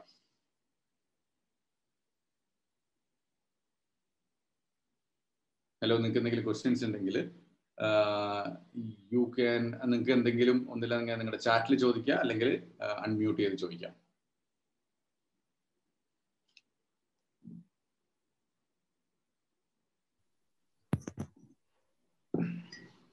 എനിക്ക് ഒരു ഡൗട്ട് ഒന്ന് ക്ലിയർ ചെയ്യാനാണ്. എന്റെ പേര് അലിൻ ജോജി എന്നാണ്. ഞാൻ ട്രിവാൻഡ്രത്തുനിന്ന് വിളിക്കുന്നത്. ഇപ്പോഴത്തെ ബെസ്റ്റ് മ്യൂച്വൽ ഫണ്ട് ഏതാണ്? എന്റെ ഉദ്ദേശം എന്താണ് എനിക്ക് ഡെയിലി ഫണ്ട് വരുന്നതിനനുസരിച്ച് ഇൻവെസ്റ്റ് ചെയ്യുക. അതിനകത്ത് എപ്പോ വേണമെങ്കിലും എനിക്ക് വിഡ്രോ ചെയ്യാനും പറ്റണം. അപ്പോ വിഡ്രോ ചെയ്യാണെങ്കിൽ ഇക്വിറ്റിയിലേക്ക് വരെ വേണ്ട. ഡെറ്റിൽ ചെയ്താൽ മതി. അതിന് ഏതൊക്കെ ഇൻവെസ്റ്റ്മെന്റ് ആണ് സജസ്റ്റ് ചെയ്യുന്നത്? എസ് ബി ഐയിലാണ് ഞാൻ കൂടുതലും അല്ല ഇപ്പൊ ഞാൻ എന്താ പറയാ ഞാൻ റെക്കമെൻഡ് ചെയ്യണ ഒന്ന് എസ് ബി ഐ ഞാൻ പറഞ്ഞതിൽ ഈ ഷോർട്ട് ഡ്യൂറേഷൻ ഫണ്ട്സ് ഉണ്ട് അതിൽ ചെയ്താൽ മതി. അപ്പൊ നിപ്പോണിന്റെ നല്ലതാണ് എസ് ബി ഐയുടെ നല്ലതാണ്. എസ്പെഷ്യലി വലിയ ഫണ്ട് ഹൗസസിന്റെ ചെയ്യുന്നതാണ് നല്ലത്. അതിൽ ഏതെങ്കിലും സജഷൻസ് ഉണ്ടോ? ഏതെങ്കിലും സ്പെസിഫിക് ആയിട്ട് സജഷൻസ് ഞാൻ എന്താ ഞാൻ പെട്ടെന്ന് പറയാത്തതിന്റെ കാര്യം എന്ന് പറയും ഞാൻ ഒന്നാമത്തെ കാര്യം എന്നെ പോലുള്ള ആൾക്കാർ ഇങ്ങനത്തെ ഒരു കോമൺ ഫോറത്തിൽ വന്നിട്ട് ഒരാൾക്കും വേണ്ടി അഡ്വർടൈസ് ചെയ്യാൻ പാടില്ല. ഞാൻ ഞാൻ ക്ലിയർ ആയിട്ട് പറയാം ഒന്ന് വലിയ ഫണ്ട് ഹൗസിനെ എടുക്കാം. എസ് ബി ഐ കുഴപ്പമില്ല. പിന്നെ നിപ്പോണിന്റെ കുഴപ്പമില്ല. ഇവൻ ആക്സിസിന്റെ കുഴപ്പമില്ല. ഇവരെല്ലാവരുടെയും ചില ടൈമിൽ ഇവർ പേപ്പേഴ്സ് ഡിഫോൾട്ട് ചെയ്തിട്ടുണ്ട്. അപ്പൊ നമ്മൾ എപ്പോഴും ഞാൻ എല്ലാ മാസവും ഞാൻ ഫണ്ട് ചെക്ക് ചെയ്യും. എന്നിട്ട് ഞാനത് ചിലത് വേണ്ടത് ഞാൻ എക്സിറ്റ് ചെയ്യാറുണ്ട്. അപ്പൊ ഞാൻ ഇന്നിപ്പോ പറഞ്ഞു തരണമെന്നുണ്ടെങ്കിൽ ഞാൻ അടുത്ത മാസം ഞാൻ ഈ പറഞ്ഞ സാധനം എക്സിറ്റ് ചെയ്യാറുണ്ടാവും നിങ്ങൾ എന്റെ വാക്കും വിശ്വസിച്ചിട്ട് നിങ്ങൾ അത് വാങ്ങി വെച്ചിട്ടുണ്ടാവും അപ്പൊ നിങ്ങൾക്ക് ഞാൻ എക്സിറ്റ് ചെയ്ത് അറിയാനും പറ്റത്തില്ല. ഓക്കെ ഞാൻ പേഴ്സണലി ഞാൻ അങ്ങനെയാണെങ്കിൽ ഞാൻ വിളിക്കാം. ആയിക്കോട്ടെ. അല്ലല്ല ഞാൻ ഇൻ കേസ് ഇപ്പൊ നമ്മളെ ടീമിൽ കൂടെ ഇൻവെസ്റ്റ് ചെയ്യണമെന്നുണ്ടെങ്കിൽ ആ നമ്പറിൽ ഈ ഇമെയിലിൽ വിട്ടാൽ മതി. എനിക്ക് ഈ ഫണ്ടിൽ ഇൻവെസ്റ്റ് ചെയ്യണം എന്ന് പറഞ്ഞാൽ നമ്മൾ അതിനുള്ള കോർഡിനേഷൻ തരും ഞാൻ നിങ്ങൾക്ക് പുറത്തു പോയി വാങ്ങാനായിട്ട് ഞാൻ പെട്ടെന്ന് പറയാത്തതാ. ഇപ്പൊ നമ്മുടെ ടീമിൽ കൂടെ ചെയ്യണമെന്നുണ്ടെങ്കിൽ എല്ലാ ഹെൽപ്പും ഉണ്ടാവും. ഓക്കെ. നിഖിലറ്റ് ടോക്സ് വിത്ത് മണിയിലേക്ക് ഒരു ഒരു ഇമെയിൽ ഇട്ടാൽ ഞാനിങ്ങനെ അലിൻ ജോർജ് ആണ് പറഞ്ഞതിനനുസരിച്ച് എനിക്കൊരു ഫണ്ട് തുറക്കണം. നിങ്ങൾ ആ ഡോക്യുമെന്റേഷൻ അയച്ചു തരാൻ പറഞ്ഞാൽ നമ്മൾ ടീം അയച്ചു തരും. Okay perfect okay. ശരി താങ്ക്സ് താങ്ക് യു സന്തോഷം. ഇനി അടുത്താരാണ്? How to calculate financial freedom okay how to calculate financial freedom എന്ന് പറഞ്ഞാൽ ഞാൻ അതൊരു ഒരു ലെങ്തി ടോപ്പിക്കാണ് അപ്പു. അത് ഞാൻ അതിനെ പറ്റി ഒരു വീഡിയോ ചെയ്തിട്ടുണ്ട്. അതിനെ പറ്റി ഞാൻ വർക്ക്ഷോപ്പ് ചെയ്തിട്ടുണ്ട്. ഞാൻ അടുത്ത പ്രാവശ്യം എടുക്കുമ്പോൾ ഞാൻ പറഞ്ഞുതരാം. ഇത് വളരെ സിമ്പിൾ ആയിട്ട് പറഞ്ഞു കഴിഞ്ഞാൽ നമ്മുടെ ഒരു നമ്മുടെ മാസത്തിലുള്ള എക്സ്പെൻസ് അത് മീറ്റ് ചെയ്യാൻ നമ്മുടെ പാസീവ് ഇൻവെസ്റ്റ്മെന്റോട് നടക്കണം. എന്ന് വെച്ചാൽ നമ്മുടെ റെഗുലർ ഇൻകം അല്ലാണ്ട് നമുക്ക് റെന്റോ അല്ലാന്നുണ്ടെങ്കിൽ നമ്മുടെ ഇൻട്രസ്റ്റോ കിട്ടുന്ന വരുമാനത്തിൽ നിന്ന് നമ്മുടെ മന്ത്ലി എക്സ്പെൻസ് മീറ്റ് ചെയ്യാനുള്ള ഒരു സെറ്റപ്പ് ഉണ്ടായിരിക്കണം. അതിനാണ് ഫിനാൻഷ്യൽ ഫീഡ് എന്നാണ് അതേമാതിരിയാണ് നിങ്ങൾ കാൽക്കുലേറ്റ് ചെയ്യേണ്ടത്. Okay would you would you suggest to transfer home loan uh, that is paid for 8 years? Hello. Okay. uh, uh, hello ചോദിക്കുക. Hello good morning mister Nikhil ആ hi good morning good morning ആരാണത്? ഞാൻ അജയാണ് ട്രിവാൻഡ്രത്ത് നിന്ന്. Hi Ajay. പറയൂ. Yeah miss Nikhil നിങ്ങളുടെ office ട്രിവാൻഡ്രത്ത് ഉണ്ടോ? ട്രിവാൻഡ്രത്ത് എനിക്കുണ്ട്. ട്രിവാൻഡ്രത്തുള്ളത് എന്റെ ഫ്രാഞ്ചൈസീസ് ആണ്. അപ്പൊ നിങ്ങൾക്ക് ഇത്തരം സർവീസുകൾ കിട്ടണമെങ്കിൽ കൂടുതലും കൊച്ചി ഓഫീസായിട്ട് ബന്ധപ്പെടാൻ നല്ലത്. കാരണം ഞങ്ങൾ കൊച്ചി തിരുവനന്തപുരത്ത് ഓഫീസ് മൊത്തം ട്രേഡിംഗും ആയിട്ടുള്ള ഒരു ഓഫീസുകളാണ് കൂടുതലും. ട്രേഡിംഗ് മാത്രമേ ഉള്ളൂ. ആ ട്രേഡിംഗ് കാരണം അവിടെ എനിക്ക് ഫിനാൻഷ്യൽ പ്ലാനേഴ്സ് അവിടെ ഇല്ല. ട്രേഡിംഗ് ആയത് നിങ്ങളുടെ ഇക്വിറ്റി ഡെപ്റ്റ് എല്ലാം കാണോ അവിടെ? അവിടെ കൂടുതലും ഇക്വിറ്റി ആണ് ഉള്ളത്. ഇക്വിറ്റി ഡെറിവേറ്റീവ്സ് കമോഡിറ്റീസ് അങ്ങനെയാണ്. അപ്പൊ ഒരു ഫിനാൻഷ്യൽ പ്ലാനിങ് ആണെന്നുണ്ടെങ്കിൽ അപ്പോയിന്റ്മെന്റ് എടുത്തിട്ട് നമ്മുടെ സൂമി കൂടെ മീറ്റ് ചെയ്യാം. അപ്പൊ നിങ്ങൾക്ക് ഒരു പേഴ്സണൽ ടച്ച് കിട്ടും. അല്ല ഓൾറെഡി ഞാൻ സൂം മീറ്റിംഗ് കഴിഞ്ഞു എന്റെ ഒരെണ്ണം. ഞാൻ നിങ്ങളുടെ ഇതിൽ ചെയ്തായിരുന്നു. എനിക്ക് ഓർമ്മയില്ല ആരാ വന്നേന്ന്. വിഷ്ണു ആണ് വിഷ്ണു ആണെന്ന് തോന്നുന്നു. യാ കറക്റ്റ് അപ്പം ആ വിഷ്ണു വിഷ്ണു വന്നത്. ഓക്കെ അപ്പൊ എനിക്ക് ഐഡിയ കിട്ടിയായിരുന്നു. അപ്പം ഇനി എനിക്ക് ഒന്ന് ഇൻവെസ്റ്റ്മെന്റിൽ ഒന്ന് പ്ലാൻ ചെയ്താൽ കൊള്ളാന്നുണ്ടായിരുന്നു ഇക്വിറ്റി ആൻഡ് ഡെപ്റ്റ് അപ്പൊ അതിനുവേണ്ടി ഞാൻ ട്രിവാൻഡ്രത്ത് സെറ്റിൽ ആയപ്പോ ട്രിവാൻഡ്രത്ത് എനിക്ക് ഫോളോ അപ്പിനും ട്രിവാൻഡ്രോ ആയിരിക്കും ബെറ്റർ ഓപ്ഷൻ അല്ലെ കാരണം എന്താ പറയുക മിക്കപ്പോഴും പറ്റിപ്പോണെന്ന് അറിയാം? ഞങ്ങൾ ഞാനതിനെ തിരുവനന്തപുരത്ത് ഓഫീസിലെ കുട്ടികൾ നല്ലവരാണ്. പക്ഷെ അവർക്ക് മാനേജ് ചെയ്യാനും പറ്റും. പക്ഷെ നമ്മുടെ ഇത്തരം ഫിനാൻഷ്യൽ പ്ലാനിങ്ങിൽ കൂടുതൽ ചെയ്യണമെന്നുണ്ടെങ്കിൽ അതിന്റെ പ്രൊഫഷൻസ് വേറെയാണ്. കാരണം ഇവരെല്ലാവരും സി എഫ് കാരണം അത്തരം സർട്ടിഫൈഡ് ആയിട്ടുള്ള ആളുകൾ കൊച്ചി ഓഫീസിലേ ഉള്ളൂ. അപ്പൊ ഇപ്പൊ ഞാൻ ഞാൻ ഈ പറയുന്ന സർവീസ് കിട്ടണമെന്നുണ്ടെങ്കിൽ കൊച്ചിയിൽ നിന്ന് ചെയ്യുന്നതാണ് കുറച്ചുകൂടി നല്ലത്. എനിക്ക് ഞാനൊരു കാര്യം ചെയ്യാം. ഞാൻ അജയ അല്ലേ? ഞാനൊരു കാര്യം ചെയ്യാം. ഞാനൊന്ന് നാളെ വിഷ്ണുവിനോട് ആരെങ്കിലും വിളിക്കാൻ പറയാ നിങ്ങളെ. Okay okay. ശരി ശരി. എന്നിട്ട് ഇത് ഇവിടെ നിന്ന് തന്നെ നിങ്ങൾക്ക് ഫോളോ അപ്പിനൊന്നും ഒരു പ്രശ്നം വരത്തില്ല. കാരണം നമ്മളിപ്പോ ഇപ്പൊ ഓൾ ഇന്ത്യ അല്ലാന്നുണ്ടെങ്കിൽ ഇപ്പൊ എൻ ആർ ഐ ക്ലയൻസ് ആയാലും കൊച്ചിയിൽ നിന്ന് തന്നെ നമ്മൾ സർവീസ് കൊടുക്കണം. Okay okay. Thank you thank you ശരി ശരി. ഞാൻ arrange okay okay thank you Nikhil thank you thank you thanks for your call അതെ ഒരു ഒരു ഒരു ആശ ആശ എന്നോട് ചോദിച്ചിട്ടുണ്ട്. ഹോം ലോൺ എട്ട് വർഷം അടച്ചു. അത് കഴിഞ്ഞിട്ട് ഫിഫ്റ്റീൻ ഇയേഴ്സിലേക്ക് മാറ്റണതിനെ പറ്റി അഭിപ്രായം എന്നാണ്. സി എന്റെ ഒരു അഭിപ്രായത്തിൽ പറഞ്ഞാൽ നിങ്ങൾക്ക് ഇപ്പൊ ഇ എം ഐ അടയ്ക്കാൻ ബുദ്ധിമുട്ടുണ്ടെങ്കിലും മാറ്റണേലേക്ക് അഭിപ്രായമുണ്ട്. അല്ലെങ്കിൽ ഇല്ല. പക്ഷെ എനിക്കുള്ള ഒരു അഭിപ്രായം എന്ന് വെച്ചാൽ എട്ട് വർഷം അടച്ചിട്ടുണ്ടെങ്കിൽ മിക്കവാറും നിങ്ങൾ വെച്ചേക്കുന്ന ഇൻട്രസ്റ്റ് റേറ്റ് എന്ന് പറഞ്ഞാൽ ഒമ്പതര ശതമാനം ആയിരിക്കും. അതിനാ ഒരു ഏഴ് ശതമാനത്തിലേക്ക് മാറ്റുകയാണെങ്കിൽ നല്ലതായിരിക്കും എന്നാണ് എന്റെ അഭിപ്രായം. ആഷയ്ക്ക് ആൻസർ കിട്ടിയ? ഓക്കെ ഇനി മന്ത്ലി ഇൻട്രസ്റ്റ് കൂടുന്ന ഇൻവെസ്റ്റ്മെന്റ് ബെറ്റർ ബാങ്കിൽ ഡെപ്പോസിറ്റ് സാറേ എന്റെ പേര് അരുൺ എന്നാണ്. ഞാൻ ചോദിക്കുന്നത് ഇപ്പൊ നമുക്ക് പെൻഷൻ സ്കീം പോലെ അതായത് ഇപ്പൊ ബാങ്കിലിട്ട് അതിന്റെ ഫിക്സഡ് ഫിക്സഡ് ഇട്ടിട്ട് നമുക്ക് ഒരിക്കലും അതിന്റെ ഇൻട്രസ്റ്റ് വെച്ച് നിൽക്കാൻ പറ്റത്തില്ലല്ലോ. അപ്പൊ ഇവിടെ കേട്ടിട്ടുണ്ട് ഈ ചില മ്യൂച്വൽ ഫണ്ടുകൾ ഇത്ര പെർസെന്റേജ് വെച്ച് ഡിവിഡൻഡ് ആയിട്ട് കൊടുക്കുന്നെന്നോ അങ്ങനെ എന്തൊക്കെ ഒരു സംവിധാനം ഇല്ലേ? അതായത് ബാങ്ക് പത്ത് ശതമാനത്തിന് മേലെ ഡിവിഡൻഡ് ആയിട്ട് കൊടുക്കുന്നെന്നോ ഒക്കെ പറഞ്ഞു. അതായത് നമ്മുടെ ഇൻകം എപ്പോഴും സേഫ് ആയിരിക്കും. മാർക്കറ്റിലെ വേരിയേഷൻ വരും. എന്നാലും നമുക്ക് ഫിക്സഡ് ആയിട്ട് ഒരു ഇൻകം കിട്ടുന്ന കുറെ ഫണ്ടുകൾ ഉണ്ടെന്ന് പറയുന്നത് കേട്ടോ. അങ്ങനെയൊക്കെ ഉണ്ടോ സാറേ? അല്ല അനിലിന്റെ വയസ്സ് എത്രയും എനിക്ക് ഇരുപത്തി ഒമ്പത്. അല്ല അനിലേ നമ്മൾ ഇത്തരം കാര്യങ്ങളൊക്കെ ഇപ്പൊ നമുക്ക് എസ് ഡബ്ല്യു പി എന്ന് പറഞ്ഞൊരു ഓപ്ഷൻ ഉണ്ട് അല്ലാതെ ഇൻകം ഫണ്ട് എന്ന് പറഞ്ഞ ഓപ്ഷൻ ഉണ്ട്. ഈ നമ്മുടെ ഈ ഇൻകം ഫണ്ടിൽ എപ്പോഴും സംഭവിക്കുന്നത് നമ്മുടെ ഫണ്ടിൽ നിന്ന് തന്നെ പൈസ അപ്പൊ നിങ്ങൾക്ക് ഇൻകം ആവശ്യമുണ്ടെങ്കിൽ മാത്രമേ അത്തരം സ്കീമുകൾ ഓപ്റ്റ് ചെയ്യണത് നല്ലത്. അതിൽ നിന്ന് എപ്പോഴും നമ്മളൊരു പത്ത് ശതമാനം എക്സ്പെക്ട് ചെയ്യരുത്. ഒരു ശതമാനം എന്നുള്ള രീതിയിലാണ് എക്സ്പെക്ട് ചെയ്യുന്നത്. ക്യാപിറ്റലിൽ റോഡ് ചെയ്യാണ്ട് പൈസ കിട്ടും. അപ്പൊ അത്തരം സ്കീമുകളിൽ ഇന്ന് മന്ത്ലി റിട്ടേൺ എടുക്കണമായിരിക്കും എന്റെ അഭിപ്രായത്തിൽ നല്ലത്.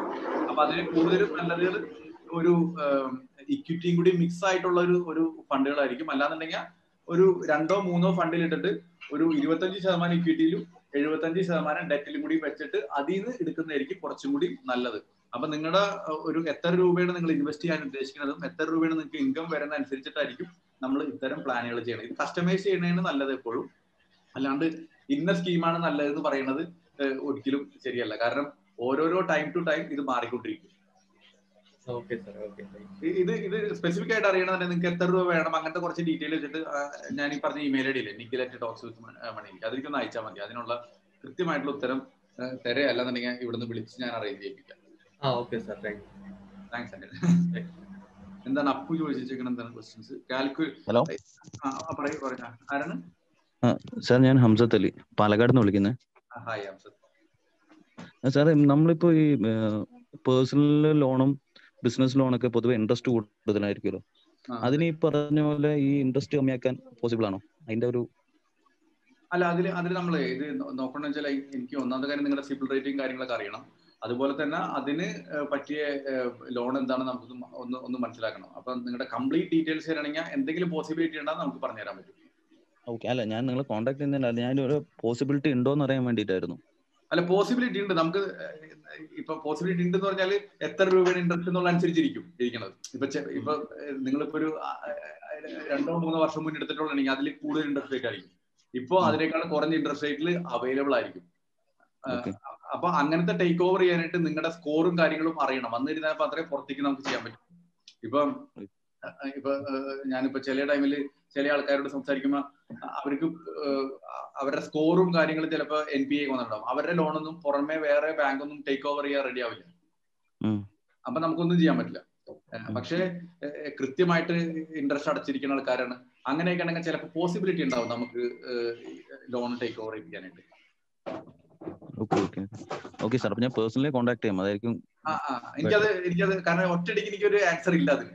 കാരണം ഇത് ഇതെല്ലാരും നമ്മുടെ ക്രെഡിറ്റ് സ്കോർ സ്കോർ അനുസരിച്ച് നമ്മുടെ വെൽത്ത് അനുസരിച്ചൊക്കെ ആയിരിക്കും ഇരിക്കുന്നത് ഓക്കെ ഓക്കെ കാരണം അതിൽ അങ്ങനെ ചാൻസ് ഉണ്ടെങ്കിൽ നോക്കാലോ എന്ന് കരുതിയിട്ടായിരുന്നു അതിനോട് ചോദിച്ചത്. കാരണം എനിക്ക് അങ്ങനെ ഒരു ഗ്യാരണ്ടി പറയാൻ പറ്റില്ല ഹംസത് എനിക്ക് കിട്ടുന്നുള്ളത്. പക്ഷെ നമുക്കത് ട്രൈ ചെയ്ത് നോക്കാം. നിങ്ങളുടെ പേഴ്സണൽ ഡാറ്റ അനുസരിച്ചിട്ട് നമുക്ക് നോക്കാം. പോസിബിലിറ്റി ഉണ്ടോ എന്നുള്ളത്. ഓക്കെ ഓക്കെ താങ്ക് യു ആയിക്കോട്ടെ. ഹലോ നിഖിൽ എന്റെ പേര് ടോജോ. ഞാൻ എറണാകുളത്തു നിന്നാണ്. ആ ടോജോ പറയൂ. നമ്മളുടെ ഹോം ലോൺ റീസ്ട്രക്ചർ ചെയ്യുന്നതിനെ കുറിച്ച് പറഞ്ഞിരുന്നല്ലോ. അതേപോലെ വെഹിക്കിൾ ലോൺസ് റീസ്ട്രക്ചർ ചെയ്യുന്നത് പോസിബിൾ ആണോ? വെഹിക്കിൾ ലോൺസിൽ റീസ്ട്രക്ചർ ചെയ്യാനായിട്ട് മിക്കവാറും പറ്റില്ല. പക്ഷേ നമ്മുടെ ഒരു ക്വസ്റ്റിനെ തന്നെ ഇപ്പൊ ഞങ്ങൾ ചെയ്തിട്ടുള്ള ഞാൻ പറഞ്ഞില്ലേ ഇപ്പൊ ഞങ്ങൾക്ക് ഒരു ഒരു ക്ലയന്റിന് അങ്ങേരുടെ ഹോം ലോൺ ഉണ്ടായിരുന്നു വെഹിക്കിൾ ലോൺ ഉണ്ടായിരുന്നു.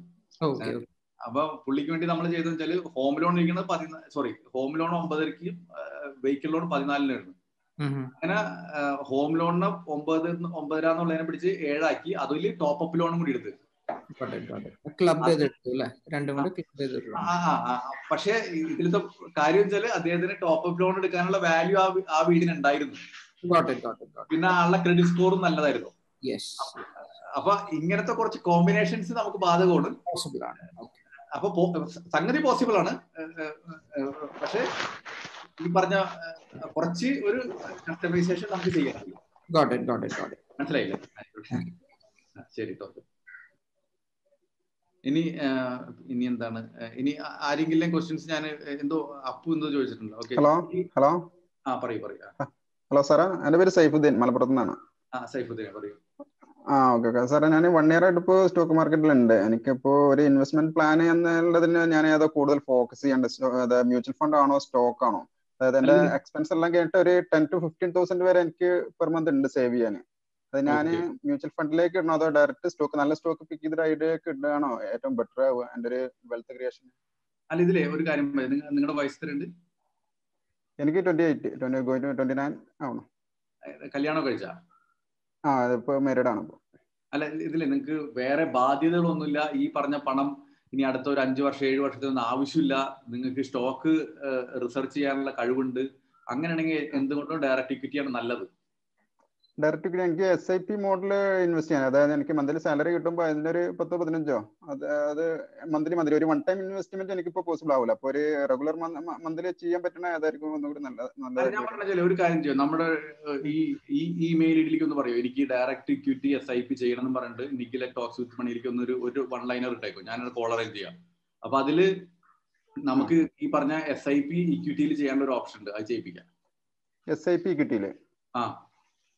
ആ ശരി ശരി. അത് എങ്ങനെ? അത് എല്ലാ ബ്രോക്കറും അതിൽ അതുണ്ടോ?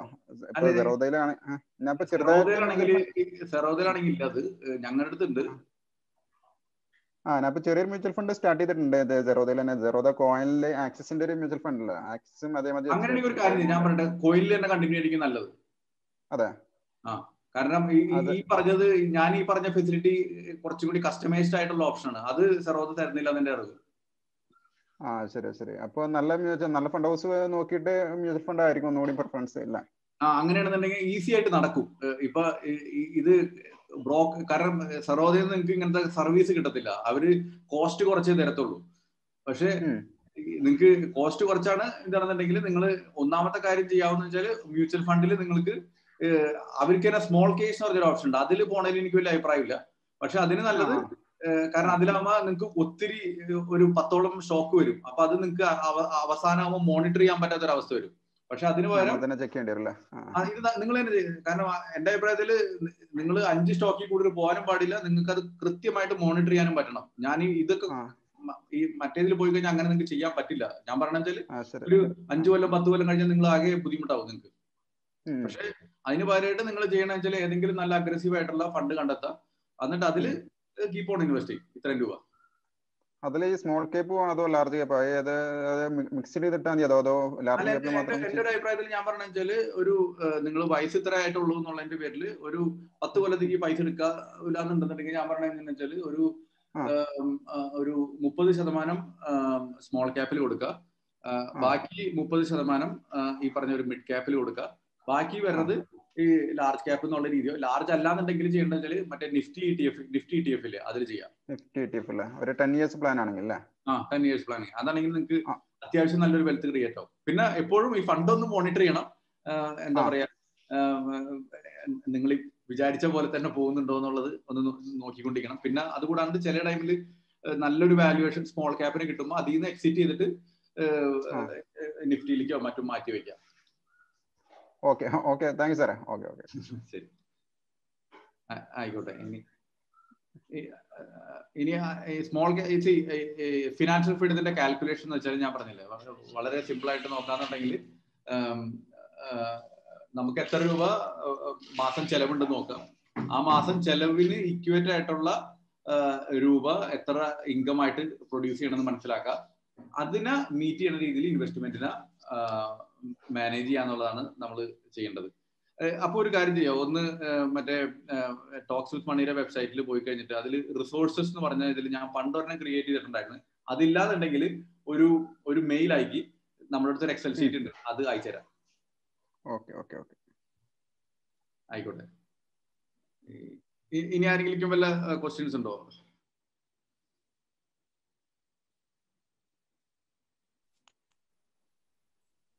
ഓക്കെ. ഞാൻ നമ്മളിപ്പോ പന്ത്രണ്ട് മണിയായി. ഞാൻ വിചാരിക്കുന്നു ആർക്കും വേറെ ക്വസ്റ്റ്യൻസ് ഒന്നും ഇല്ലാന്ന് വിചാരിക്കുന്നു. അപ്പോ താങ്ക് യു സോ മച്ച് അപ്പൊ ഇന്നത്തെ നമ്മൾ സെഷനിൽ എല്ലാവർക്കും ഉപകാരപ്രദമായെന്ന് വിചാരിക്കുന്നു. ഇൻ കേസ് എന്തെങ്കിലും ഫർദർ ക്വസ്റ്റ്യൻ ഉണ്ട് അതല്ല നിങ്ങൾക്ക് ആരെങ്കിലും നമ്മളുടെ ടീമായിട്ട് ഇരുന്നിട്ട് ഒരു കംപ്ലീറ്റ് ഇൻവെസ്റ്റ്മെന്റ് ഡിസ്കഷൻ നടത്തണമെന്നുണ്ടെങ്കിൽ നമ്മുടെ വെബ്സൈറ്റിലേക്ക് വരാം. അത് എന്നിട്ട് അതിൽ അപ്പോയിൻമെന്റ് എടുക്കുക മീറ്റ് ചെയ്യുക. ഇനി അതുകൂടാണ്ട് നിങ്ങൾക്ക് ഏതെങ്കിലും ഇൻവെസ്റ്റ്മെന്റ് നിങ്ങൾക്ക് ആരെങ്കിലും ചെയ്യണം താല്പര്യം ഉണ്ടെങ്കിൽ നമ്മുടെ ഈ പറഞ്ഞ നിഗലറ്റ് ഡോക്സ് വിത്ത് മണിയിലേക്കോ അല്ലാതെ ആ കോളിൽ വിളിച്ചിട്ട് സംസാരിച്ചാൽ മതി. അപ്പൊ അവർ ഏത് ഫണ്ടാണ് സജസ്റ്റ് ചെയ്യേണ്ടത് അതിനുള്ള ഗോൾ എന്താണെന്ന് മനസ്സിലാക്കുകയും അത് ഒരു ആറുമാസം കൂടുമ്പോൾ മോണിറ്റർ ചെയ്യാം. ഇൻ കേസ് എന്തെങ്കിലും മാറ്റങ്ങൾ വരുത്തണമെങ്കിൽ അതും ചെയ്യാനായിട്ട് നിങ്ങളെ ഹെൽപ്പ് ചെയ്യും. അപ്പോൾ എല്ലാ എല്ലാവർക്കും ഞാൻ വേറെ എന്തൊരു ക്വസ്റ്റ്യൻസ് ഉണ്ടല്ലോ. അമൽ അനിൽ ഞാൻ ലോങ് ടൈം ആയി മ്യൂച്വൽ ഫണ്ട് ഇൻവെസ്റ്റ് ചെയ്യാൻ ആഗ്രഹിക്കുന്നു. ലൈക്ക് ഇരുപത്തഞ്ച് ഇയേഴ്സ് ഇപ്പോൾ മന്ത്ലി ഇൻകമായി നമുക്ക് എത്ര രൂപ വേണമെങ്കിലും മ്യൂച്വൽ ഫണ്ടിൽ ചെയ്യണമെങ്കിൽ എത്ര രൂപ വേണമെങ്കിലും കൂട്ടാൻ പറ്റും കേട്ടോ നമുക്ക് അങ്ങനെ ഇന്ന് രണ്ടായിരം രൂപയ്ക്ക് തുടങ്ങി അല്ലെങ്കിൽ അയ്യായിരം രൂപയ്ക്ക് തുടങ്ങി. ഇനി നമുക്ക് ഇനി രണ്ടു കൊല്ലം കഴിഞ്ഞാൽ ഇനി ഒരു അടുത്ത ഒരു അഞ്ഞൂറ് ചെയ്യണം. എല്ലാം പോസിബിൾ ആണ്. ഓക്കെ എല്ലാവർക്കും ഒരു സെഷൻ ഉപയോഗം തന്നെയായിരിക്കും എല്ലാവർക്കും ഒരു മോട്ടിവേഷൻ ആവട്ടെ. എല്ലാവർക്കും നല്ല രീതിയിൽ ഇൻവെസ്റ്റ് ചെയ്യാനും നല്ല രീതിയിൽ പണങ്ങൾ മാനേജ് ചെയ്യാനും പറ്റട്ടെ എന്ന് ആശംസിച്ചുകൊണ്ട് ഞാൻ ഞാൻ നിർത്തുന്നു. എല്ലാവർക്കും നന്ദി. Okay bye bye thank you